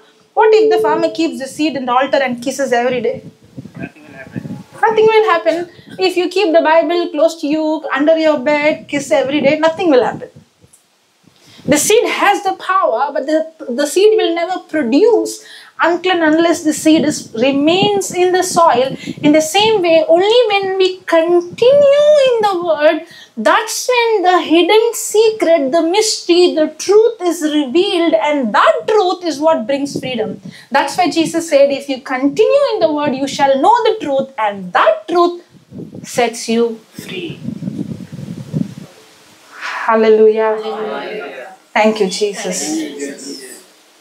Did you get that? Now we are speaking the word, thinking when I speak the word, the word has the power to change, but actually, that word has to be conceived in the heart first. It has to remain in my heart. The key for Abraham is when he when he received the promise, he considered not his own body, but he considered the promise. Hallelujah. You know, one of the reason why I, I began to see result. When I was in um, school, Okay. We used to have group study. Yes. Teacher would tell us to study and then each one should ask. Correct? I would see my neighbors would study very fast by hearted and they would start by hearting. For me, I would get stuck with the first word. Now I need dictionary to uh, first of all understand the meaning. And then I have to imagine. But by the time I try to understand one para, the syllabus is over. Now, because of that attitude of mine, I failed in school. Because school couldn't go in my speed. But even that's whatever I learned, if you ask me even now, I remember whatever I, I even though I, I was getting one digit and zero and I was very bad. There are things which I learned that little, I till now I can tell you. But the same method, 100% giving me result in the Word of God. I take one scripture, I take one teaching, and I go because I did not see Abraham having thousands of promises. He held on one promise. Yes or no? Yes, God gave him many promises. But if you see in the in, the Bible, it speaks about you receive one seed and then you allow that seed, then the seed has the ability to multiply. Then the multiplication takes place. Praise God. Now, when I begin to take the example, Mark 16, 17, what I said, when I took that one, day and night, I'm thinking, I'm meditating, I'm confessing, and I'm praying in tongues, and I have a helper. I was about to come there, I forgot to share about that. Helper. On that day, I, I said, Brother Johnson was not there. But thank God I have the Holy Spirit. And the Bible says, when I do not know how to pray and what to pray, there is this Holy Spirit who's there to help me in my weakness. Who's there to help me in my weakness? Yes. Now, if you see the disciples, there are many things that Jesus taught them. But did they understand everything? No. Many things they did not understand. But what did Jesus say? When the helper comes, he will teach you all things. Correct? Now the same disciples who were filled with fear, they did see result, but they many but when they saw the problem, they ran away. When they saw Jesus crucified, they ran away. But the same Peter who rejected, who denied Christ three times, when the Holy Spirit came, when he received the baptism of the holy fire, and when he began to pray in tongues, he came out boldly and he started to speak. The same Peter who was so astonished seeing how did Jesus speak to the fig tree, now he himself, Peter and John, are speaking to the crippled man and saying, Rise up and walk in the name of Jesus Christ of Nazareth. Yes or no? Did Peter say, Gold or silver I don't have, but what I have I give you in the name of Jesus Christ of Nazareth? Rise up and walk. Now, this was the same Peter who was so astonished when Jesus spoke to the fig tree, but now the same Peter speaking to the crippled man and telling, Rise up and walk. We can start like Peter in doubt and end up in, in the spirit. Yes or no? But what is the key? The key was now the same Peter who was struggling, he has a helper. And that helper is the Holy Spirit. And that helper is in you and with you. And the Bible says that Holy Spirit, Jesus Himself said, when He comes, He will remind you everything that I taught you. My job is to learn, Holy Spirit job is to remind. Now, when I came in studio, I did not, I did not remember this incident, what happened 15 years ago. But who reminded me? Holy Spirit reminded me. Because He is my helper. But if I have to allow, He cannot just help anybody. I have to allow Him to help me. And how, how can I allow Him to help me? Because the Bible says He Himself is going to intercede through us for us. When we do not know what to pray, how to pray. Only when I open my mouth by faith and I begin to pray in tongues, I am allowing Him to pray to help me because just like how I said, the word is a mystery, it's a secret that his that mystery is hidden in the seed. In the same way, the mystery is hidden in the word. When I begin to pray in tongues, the Bible says I'm speaking the mystery of God. I'm speaking the hidden mystery, the hidden secrets. I don't know how the word works, but the Holy Spirit knows how it works. I don't know exactly. I heard. Now, when I went for that preaching on that day, when I saw the crooked lips becoming straight, when I saw the deaf ears opening, did he teach me when you go, uh, when you see a sick girl, you go into the room, you lay hand on the girl, and you say Galatians 3:13? Did the preacher teach me that? No. Who taught me? But, but, before I learned from the Holy Spirit, did I receive the seed? Yes. Now, was I pondering on it? Was I studying that scripture? Was I imagining that scripture? Was I uh, researching that scripture? Was I speaking the scripture?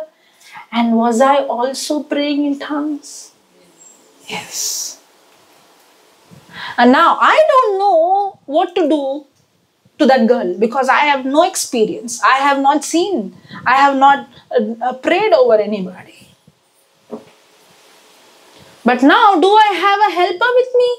Yes. And now, when I began to pray in tongues, as I, I did not know what to do, the Lord did not show me when you enter the room, she will be like this, you have to do. No, no, no. He only told me, go. I went. I after I went, he reminded me that scripture. Why that scripture? Because what is in my heart is what he reminds me. If I don't study any scripture, what he will say, file not found. Correct? My job is to study, his job is to remind me. Did I open and speak that scripture? Yes. Did I lay hand? Yes. Now, did I see the manifestation? Yes. But who was my helper? Who is my helper? Holy Spirit. Now, what, what made the difference? Peter heard, Peter was having the best of the best teacher with him. But when did he really get the understanding? After the baptism of the Holy Spirit. All that what he received and all that he, what he learned, the revelation came when he began to pray in tongues. Hallelujah. Hallelujah. But do we allow the Holy Spirit to help us? Better do. It. Yeah. Hallelujah. Thank you, Jesus. Praise you, Jesus. Now, when you open your mouth, now when Abraham was calling, when he opened his mouth and when he called himself Abraham, it was not just words, those are faith filled words. He saw himself as a father of many nations. I'll give you one more example, okay? When I went to a place, there was one sister who used to organize my program. And she's seeing for the first time people getting healed. After six months, uh, she told me, I've been ministering to some of the sick people and I've been giving them the white book. Maybe 10% I saw result, 90% I did not see result. And in that, nine, the first day session is all those people whom she is ministering, who has not, whom she did not see result, she had a session only for them. And she said, I want to know why when you come and preach, people get healed. When I'm ministering, I'm not seeing the result. And she asked me, I want to know. Because now the thoughts must be coming, okay, that preacher is anointed. Correct? Yes or no? That preacher has some special gift. So I picked up one person who had very, very severe pain. And I asked him, Will Jesus heal you? He was trained to answer, No, I'm already healed. Now, just because you answer, I'm healed, doesn't mean you believe what you say. Correct? Because he's been given an answer. When you when they ask you're healed, you should say, I'm healed. That's why when people give wrong answer, everybody else knows, say I'm healed, say I'm healed. It's not saying I'm healed. Now he said I'm healed. By you, right. never Yeah. Yeah, that's what he said, but the pain was still there. Now, what she did is she gave the white book and she told him to keep confessing that I'm the body of Christ every day.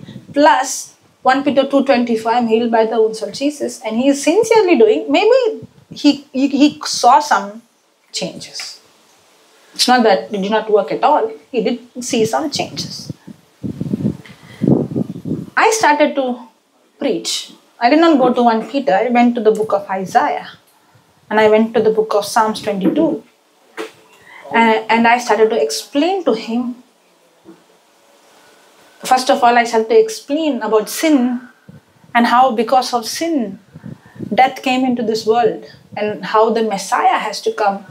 And I started to explain to him what happened on the cross. And, and, I, and I started to tell him that this he did because he loves you. And I, as I began to describe to him who Jesus is and what happened on the cross, his focus completely shifted. Uh, you know, uh, the how to say the atmosphere there was very very different because I could see him completely engrossed, and his eyes was red and tears in his eyes, and he began to imagine and picture. He began to see Jesus on the cross. His focus completely came out of his body to Jesus on the cross. And now I asked him, Will Jesus heal you? He said, No, by the wounds of Jesus I'm healed. And when he said those words, I tell you, those words did not come like a parrot. Those words did not come like a parrot. Earlier, he was saying the same words hundred times, but this time he only spoke once. He opened his mouth and said, with tears in his eyes, No, by his wounds I am healed. And I asked, Check your symptom. He said, There is no symptom. It's all gone. I didn't even know when it left The same person who's been repeating thousand times because he didn't even know what Jesus did on the cross. The word didn't, didn't even conceive in his heart. It was not even produced in his heart. He was just saying because he thought if I keep saying, then God is pleased with me and he will heal me. But when he really understood what happened on the cross, Jesus became a curse for me. He, he took my shame, he took my sin, he took my pain, he took my sickness. And what Jesus went through on the cross, he didn't even know. When he opened his mouth and spoke, it was not just words, it came as faith filled words. And every word came out of his mouth came with faith. Because he knew what he spoke. Now, what gave him the imagination? The word that he heard gave him that imagination. And only once he spoke and he saw the healing. And I looked at her and I, I told her, Did I pray over him? Did I rebuke that sickness? There are times I do that. But this time, did I do that? No. I only helped him to shift his focus from what he could see to the unseen. Because faith is to see the unseen. And what gives me the ability to see the unseen? The Word of God gives me the ability to see the unseen. If you really take the white book, I would like I would suggest instead of you telling everything as a parrot, take one scripture. I still remember in that um, uh, white book there is one scripture that says, "Thank you, Jesus." In that Thanksgiving, there's so many Thanksgiving in that. It says one line. Thank you, Jesus, that today you have given me favor with you, with men, and with all those who are authority over me. When I- you know, when I took that white book and I began to study it, that's how, that is my attitude. I get stuck in one, and I see people they go and on and on and on, but I cannot go on and on and on. That's my character. I get stuck in one place and I get stuck there. Now, why I got stuck in that scripture, you know why? Because when I went, when I got that word of God in the beginning, I just entered my college. I had such fear to go to my classroom. Because now I have word, and by God's grace, I even got seat in a college.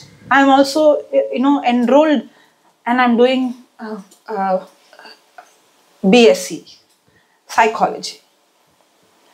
And I have so much fear to go to my classroom. Because all my life, I was always punished. My, you know, if you see my mark sheet was zeros and one digit. My my uh, answer paper would be all empty.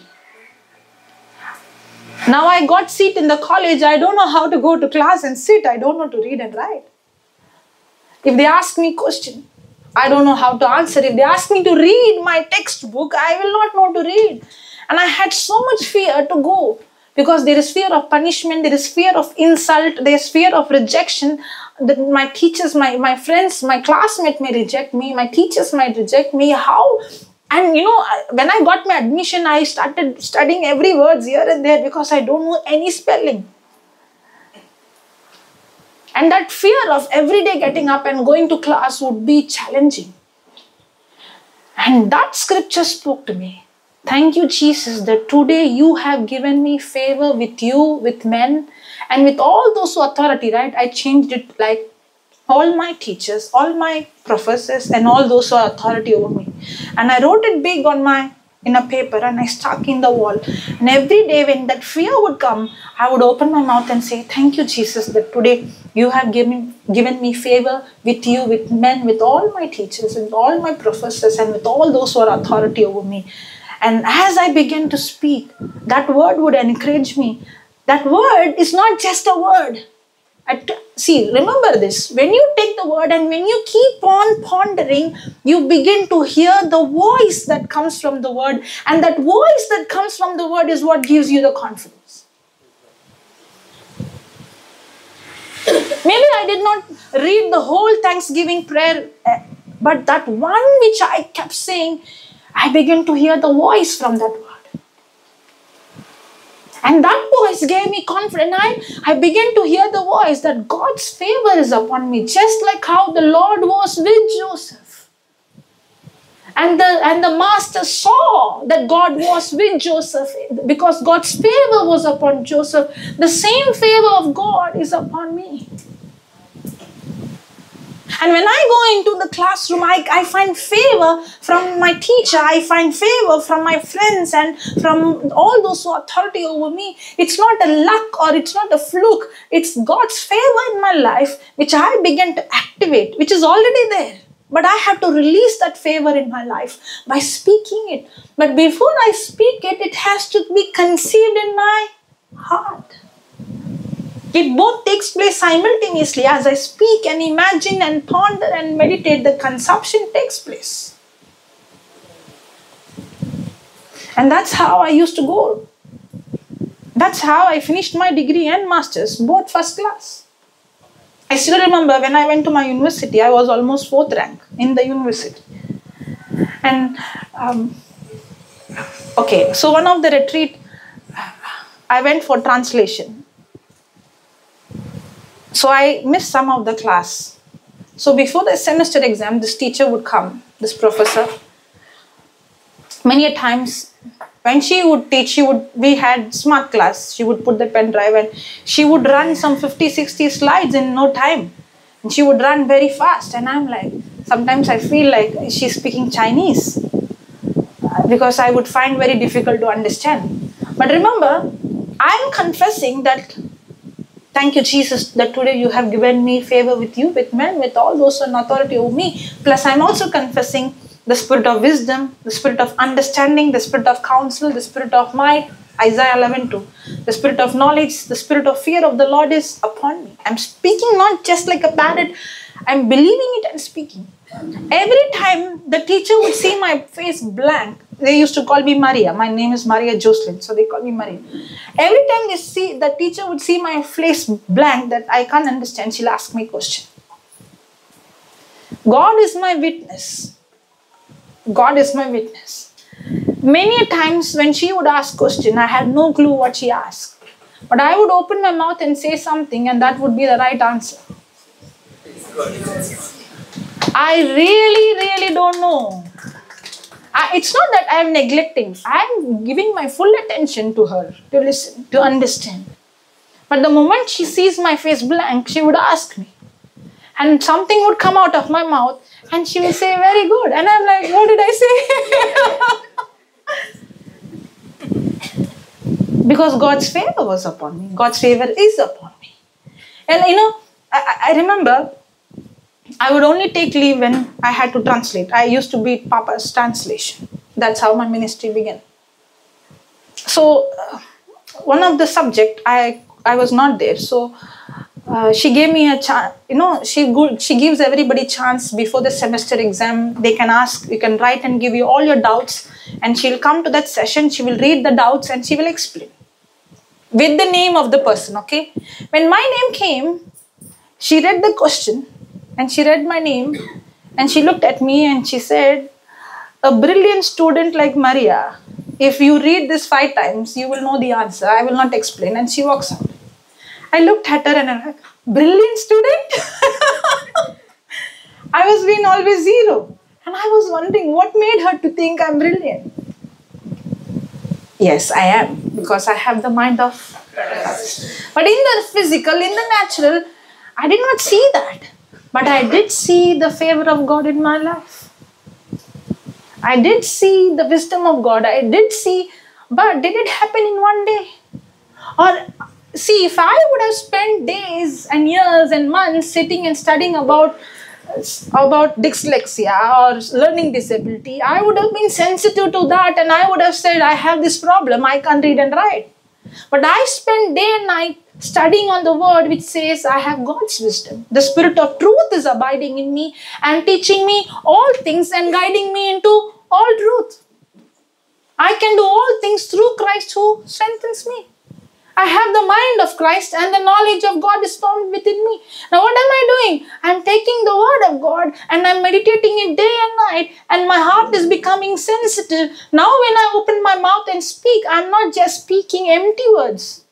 Because now, abundant of my heart is what my mouth speaks.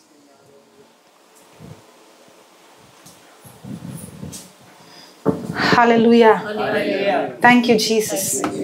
Praise you, Jesus. Did you get that? Is it about how many or it is how depth? You can hear the whole sermon and you can go and it may not result anything. But you can go back and then you can spend time in that few scriptures, what you learned from morning. Only two or three scriptures and you can go deep and deep and deep.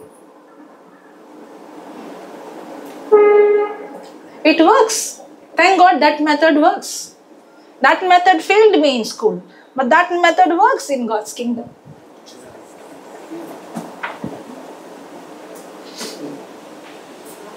Because I see people know by heart the scriptures cover to cover and they quote scriptures, but I don't see any power demonst- being demonstrated.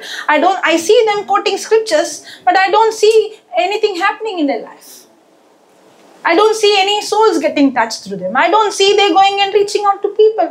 What is the use of you by hearting 100 scriptures when not one scripture brings result? It's better you stick to some and you see result of that some. And then from there you grow.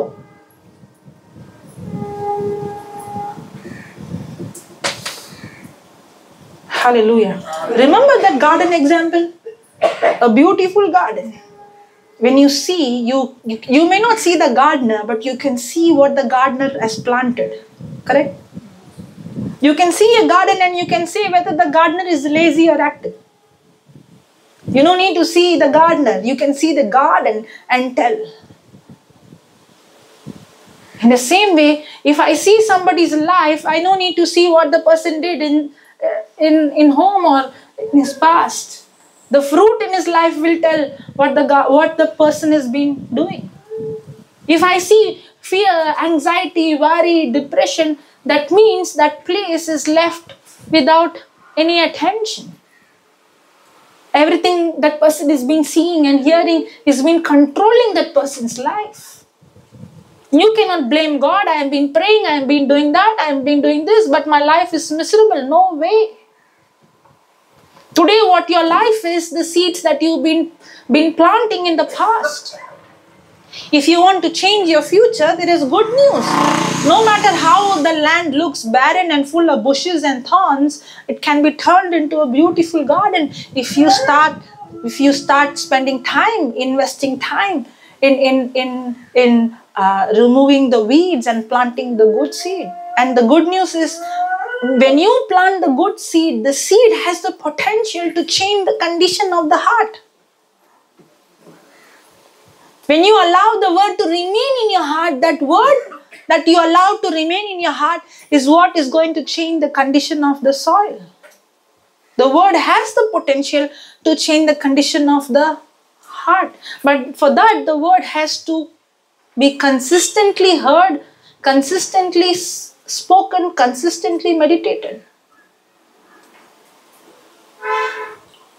Hallelujah. Hallelujah. Thank you, Jesus. Praise you, Jesus. Eh, Today, I have a choice. You know what is the choice? If I'm going to consistently go into the Bible and research how Jesus raised the dead, how Jesus opened the blind eyes, how he opened the deaf ears, how he walked in compassion, how he walked in love, how the disciples, when Peter walked his shadow healed the uh, sick how they, they walked in the supernatural. When they prayed the earth shook. When paul and silas were praising the, the, the prison doors were open the earth shook. If i go and constantly you know he said right supernatural can be taught can be learned and can be practiced when i constantly learn when i constantly see when i constantly hear when i constantly speak my heart becomes sensitive to that where supernatural becomes real in my life. That's what I do every day. I every day go and research the history, and the history is in the Bible. Go to the history, and I see how people, men of God and women of God, walked in the glory of God. I spend time, I invest time every day studying about God's glory. What is God's glory? The invisible power of God manifest that can be seen with our natural eyes. His glory. What do I do? I go and I study every day about the glory of God, about the power of God, about the healing of God, about the of the miracles of God, about the love of God, the forgiveness of God, the compassion of God. And every day I research. I love. That's my passion. I love to do that. I discuss people with people who are with me. I, I see to that people who are with me don't discuss anything else. I, I speak on that. I study on that. I research on that. I imagine that. I don't watch news. I don't watch TV. I don't go and read newspaper. If you think I'm lacking something, that's your problem. I don't lack anything. because people think because i'm not reading newspaper i'm not okay my dad used to say that okay i'm attacking my dad that is past example okay? He's not like that now. Praise god he i told you he supports me like any other uh, i don't think any other father would support like how my father supports. That's why i could go everywhere to preach. Even if there is a wedding or anything in my family my dad would to tell me I, I don't want you to cancel your preaching and come for these weddings. We will go. If people and the place i come from they question your, she's not married what she's doing where she's working how much she's earning all these questions and my father would say my one daughter is equal to 10 men and she's living a better life of uh, anybody else I know. He would give, and he would tell me, You don't need to answer all these questions. We will answer these questions. You don't need to come. You do what God has called you to do. Praise God. So, whatever I'm saying is past, okay? Not now. Praise God. Okay. So, uh, my father used to. Uh, so when I got job, uh, when I got my offer letter, my dad came to me. He- very good dad, very concerned about me, who loves me. He is thinking this girl doesn't know anything other than the word of God. Because she took all zero, zero, zero. She failed She doesn't know Math, she doesn't know English, she doesn't know uh, language. And now she got offer letter and she's only studying the word of God day and night. So what she will do when she go to work? You need some general knowledge. Somebody else is preaching there. Praise God. Okay, okay, okay. Listen, listen, listen. listen. Now, my dad was very, very concerned. He came to me and he said, I don't know how you finished your degree and you finished your master's. Maybe you just wrote something, you filled the paper, and they gave you marks. Because he couldn't believe that I really passed in all my subjects. And that too in first class. So he said, I don't know how you got because he never saw me studying. Whenever I come for semester holiday, he only see the Bible, he see my notebook, he see me all the time with my earphones, with my MP3 player. He never saw my textbook, nor he saw my rank card, nor he saw my papers. So he said, I don't know how you pass, but work is not like that. You can scribble something and they give you mark. You should actually have some knowledge. You should watch TV, you should read newspaper, you should know current what is happening, you should have some world knowledge. And he said, I'm I'm telling you because I don't want you to go into a job and get into a shock. It is a genuine concern, correct? Yes yes or no? Yes. Now I got a job and he must be thinking I will I will quit the job because he was expecting me to quit my studies also. So he was expecting me to quit my job also. One month went, two months went, three months went, four, six months. After one year, he's seeing the director of the company with his wife would come to my house and tell my parents, Your daughter is a blessing to our company. And my father looked at him, What?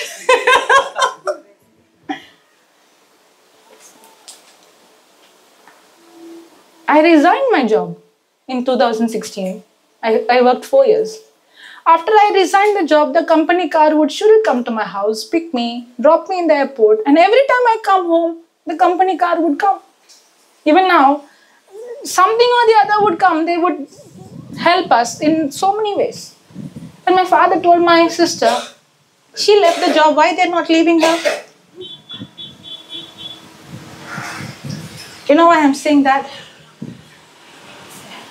If you have knowledge of the word, the Creator Himself is abiding in you and teaching you all things. He's the creator of heaven and earth. He knows science, he knows maths better than anybody. And he knows world news better than anybody. And he he wants to guide me and teach me. I don't need to know everything. I only want to know what I have to know. And he teaches me what I have to know. Yes or no? Yes. It doesn't mean I don't study anything. There are other things also. There is technology and other things. But anything that I study, I study because God put in my heart to study it. Anything I do is because for the advancement of God's kingdom.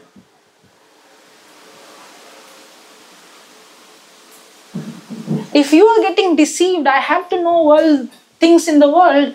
And if you're opening door for TV and newspaper and social media, that is what you have opened door for the weeds and the bushes and the thorns and the thistles.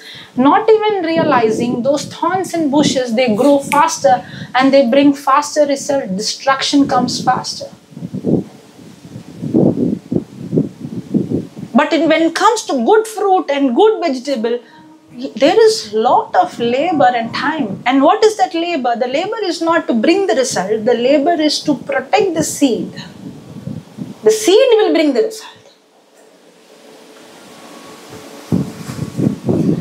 That labor is to turn my focus from the world to the word. That labor is not allowing any other information that is contradicting to the word of god that labor is I having a consistent check on what I'm seeing and what I'm hearing and what I'm speaking should be aligned to the word and not contradicting to the word. Guarding these eyes and ears and mouth is that labor.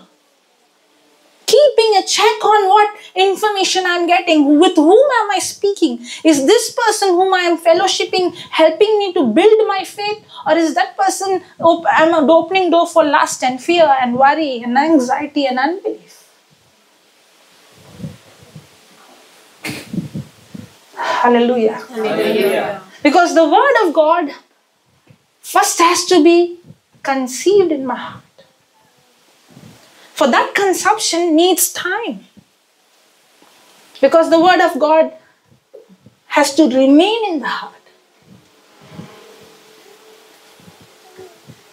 And then that has to be formed in my mouth, in my lips. And that has to be released. Now, when you release, it's not just empty word, it's faith filled word that brings result. Just like how when Jesus spoke. We also, when we every day guard this heart, and every day be cautious of what we see and what we hear and what we speak. That's when our heart becomes sensitive. Just like how I said, faith is the ability to see the unseen. That's when you begin to see, not with your own ability, but faith is the sense, is the ability to see the unseen. You begin to see, you begin to hear the voice of God, you begin to speak the word that brings result. Hallelujah. Hallelujah. Thank you, Jesus. Okay, shall we all stand? Now, all that you learned is the time for you to exercise, okay? Remember that example of the man who that sister was ministering. He was continuously saying, I am healed by the wounds of Jesus, but he did not see the result. But the same man, when I began to explain to him what happened on the cross, his focus shifted from the problem, from the seen to the unseen. I want you to do the same. Close your eyes. Maybe you're going through a situation. Maybe you're going through a problem. Maybe you're going through a sickness. But now shift your focus from you to Him and see Jesus on the cross.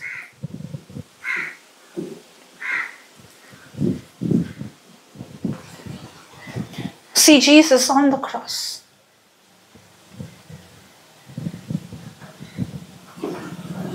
He died for you in your place.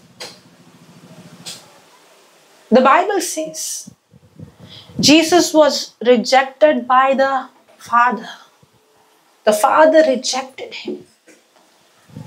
The sin of the whole world was put on Jesus. The sin of the entire human race was put on Jesus. Jesus was made sin. He never committed sin, but he was made sin. As if he was he as if he was a criminal, as if he was a murderer, as if he raped, as if he robbed. He was made sin.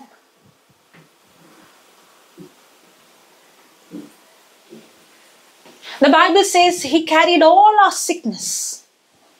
He carried the sickness of the entire world on himself. The book of Isaiah says that Jesus was beyond human appearance. Nobody can even make out that he was human. You know why? Because the entire sickness of the world he took upon him. Nobody can take a movie out of it, nobody can imagine it.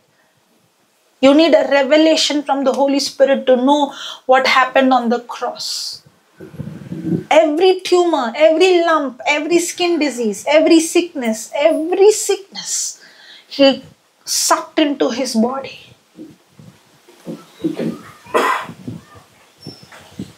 That he was beyond human appearance. Nobody can even even see him and say he's a human being. And the Bible says every bone in his body came out of joint, and his body was poured out like water. Water has no shape. When water is poured in a container, it takes the shape of the container. Jesus' body was without any shape, it was poured out like water. A human structure is intact because the bones are in its place. But the Bible says every bone came out of its place and there was no structure in his body. His body was poured out like water.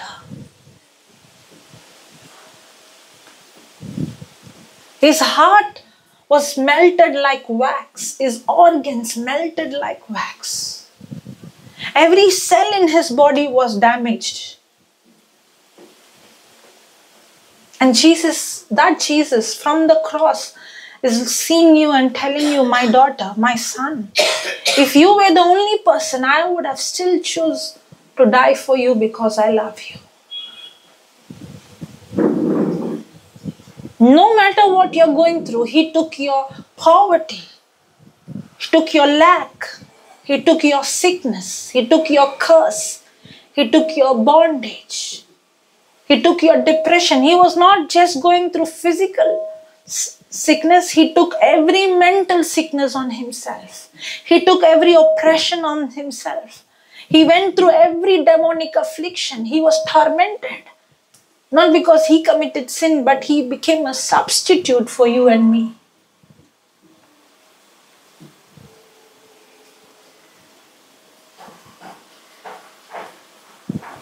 And as you are seeing Jesus, believe He has set you free completely.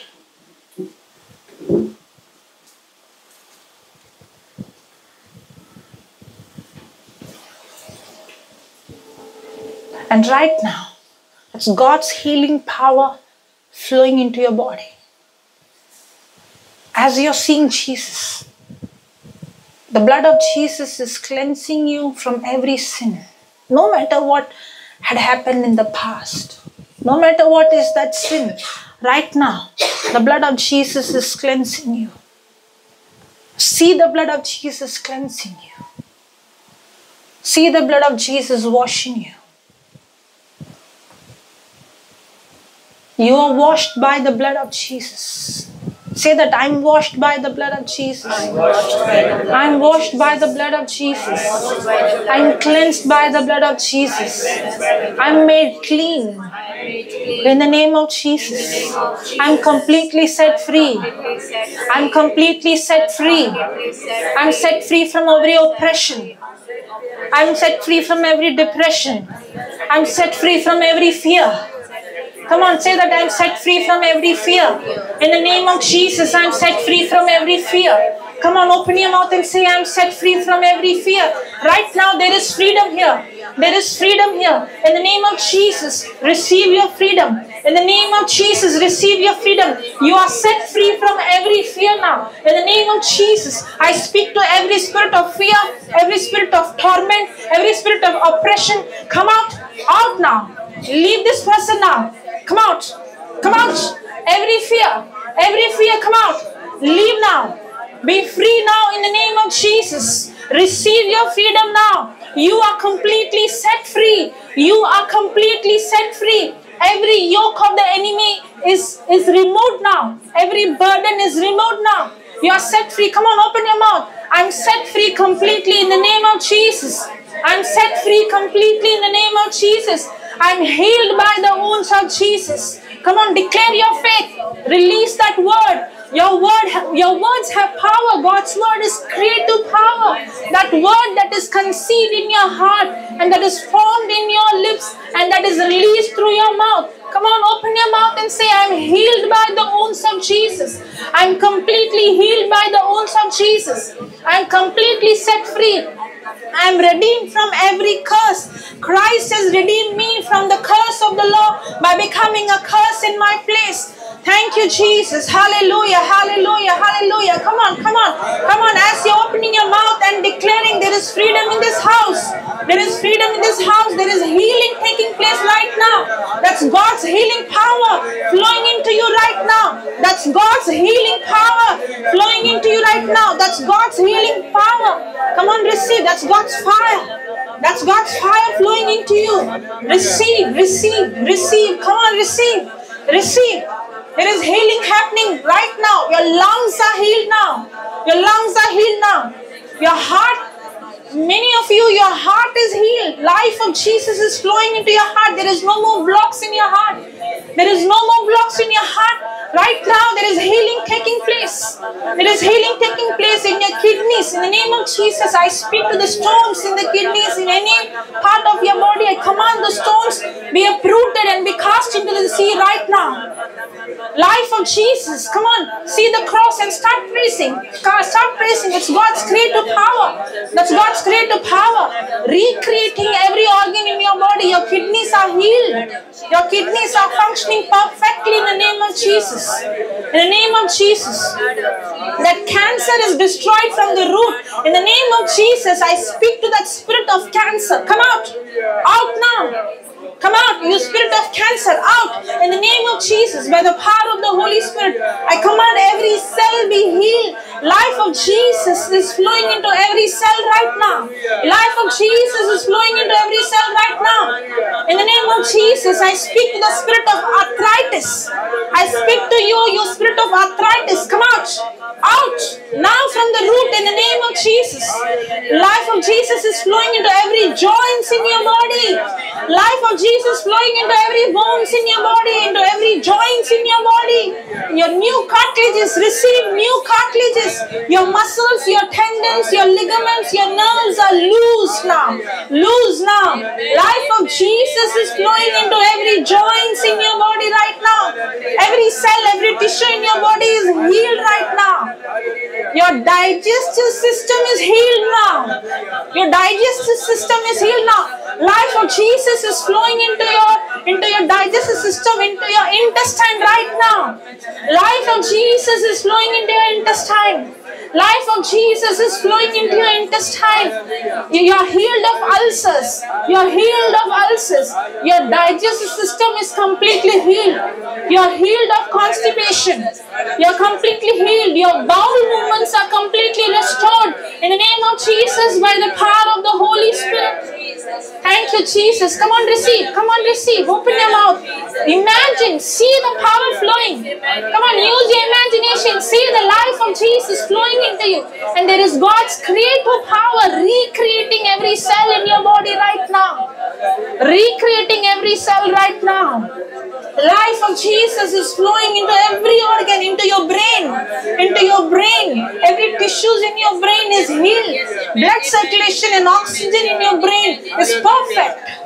It's perfect right now. Hallelujah. Thank you, Jesus. Come on, start praising Him. Start thanking Him. Thank you, Jesus.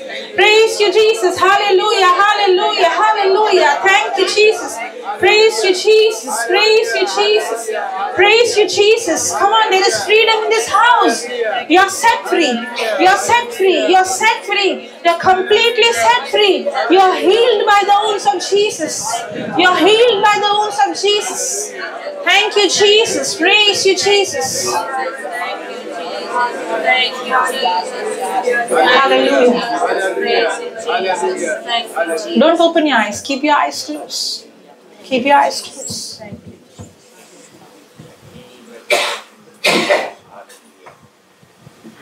That's God's healing power. You're healed of every rejection, every hurt.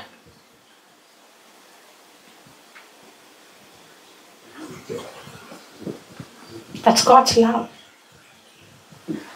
That's God's love. He's speaking to you. He's embracing you. He's healing you. He's operating you.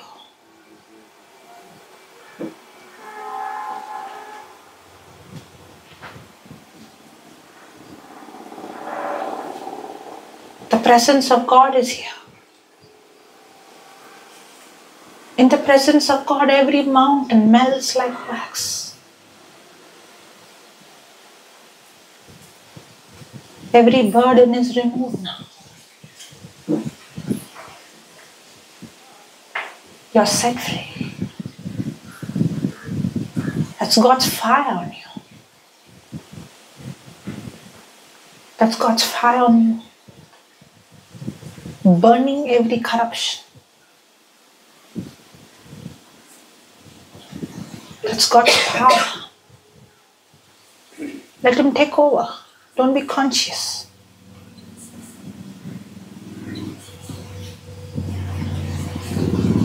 That's God's power. Don't get distracted. Let Him do what He's doing. Let Him do what He's doing.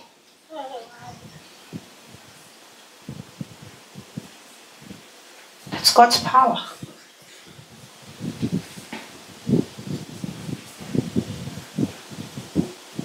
Yes, receive, receive, receive, receive, receive. That's God's fire on you. It's God's fire on you. It's God's fire on you. It's God's fire on you. Receive. Come on, receive. Come on, receive. Receive.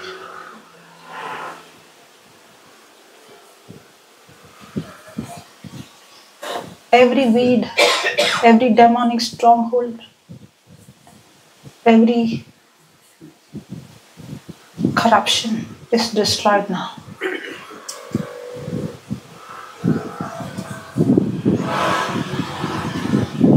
You're set free now. Your life will never be the same again.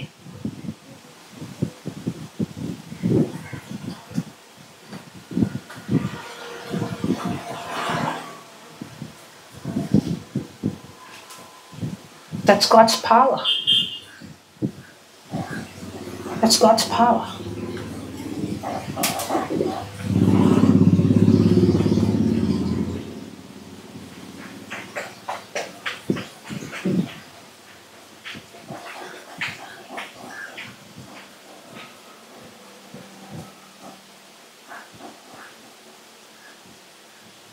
Don't get distracted. Let him do what he's doing.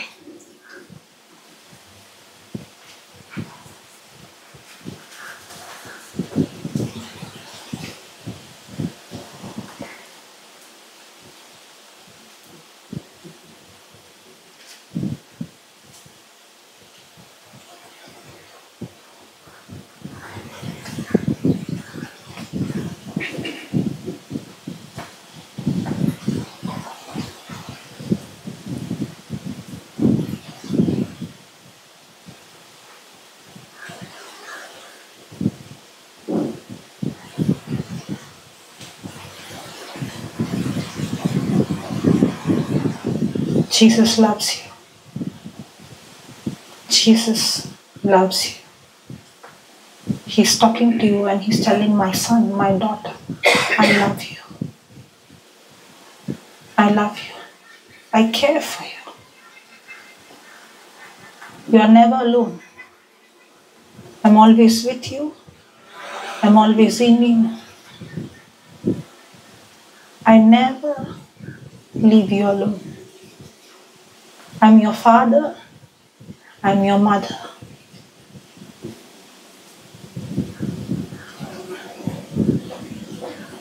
I'm your provider. I'm your protector. I'm your counselor. I'm your teacher. I'm your doctor.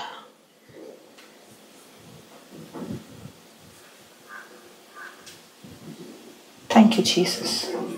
Amen. Amen. Amen. Hallelujah. Hallelujah. Praise God. How many of you experienced physical healing? Raise your hand.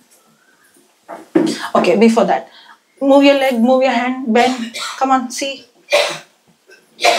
Bend, move your legs. Now tell me how many of you experienced physical healing? Raise your hand. Raise your hand, wave your hands. Praise God. How many of you experienced the power of God? Raise your hand. Yes. How many of you experienced that fear, that that anxiety has left you? Raise your hand. Praise God. Hallelujah. Hallelujah. Thank you, Jesus. Can you can you tell what happened, sister? I was very anxious and worried about something. You were anxious and worried. Yeah, and I felt that God's power was within me. That left you. You feel light. Praise God. Can you tell what happened? I was also experiencing fear regarding something, but You had I- fear. not fear, but I was worried actually. But I was confessing that God has not given me a spirit. Bit of fear. Praise God. Hallelujah. Thank you, Jesus. Let's give the Lord a big hand. Thank you, Jesus. Praise God. Okay, let's close our eyes. Father, we thank you. We love you. Lord, all that we learned, help us that we don't just hear it and neglect it. But today the consumption has taken place. Like a good farmer, help us, Lord, that every day we allow this word to remain in our heart consistently. Water it, manure it. So that we, like a gardener, like a farmer, learn to unlock the seed and our life become a beautiful garden to be a blessing to the nations. In Jesus' name we pray. Amen. Praise God. Thank you. Thank you, Jesus. Praise God.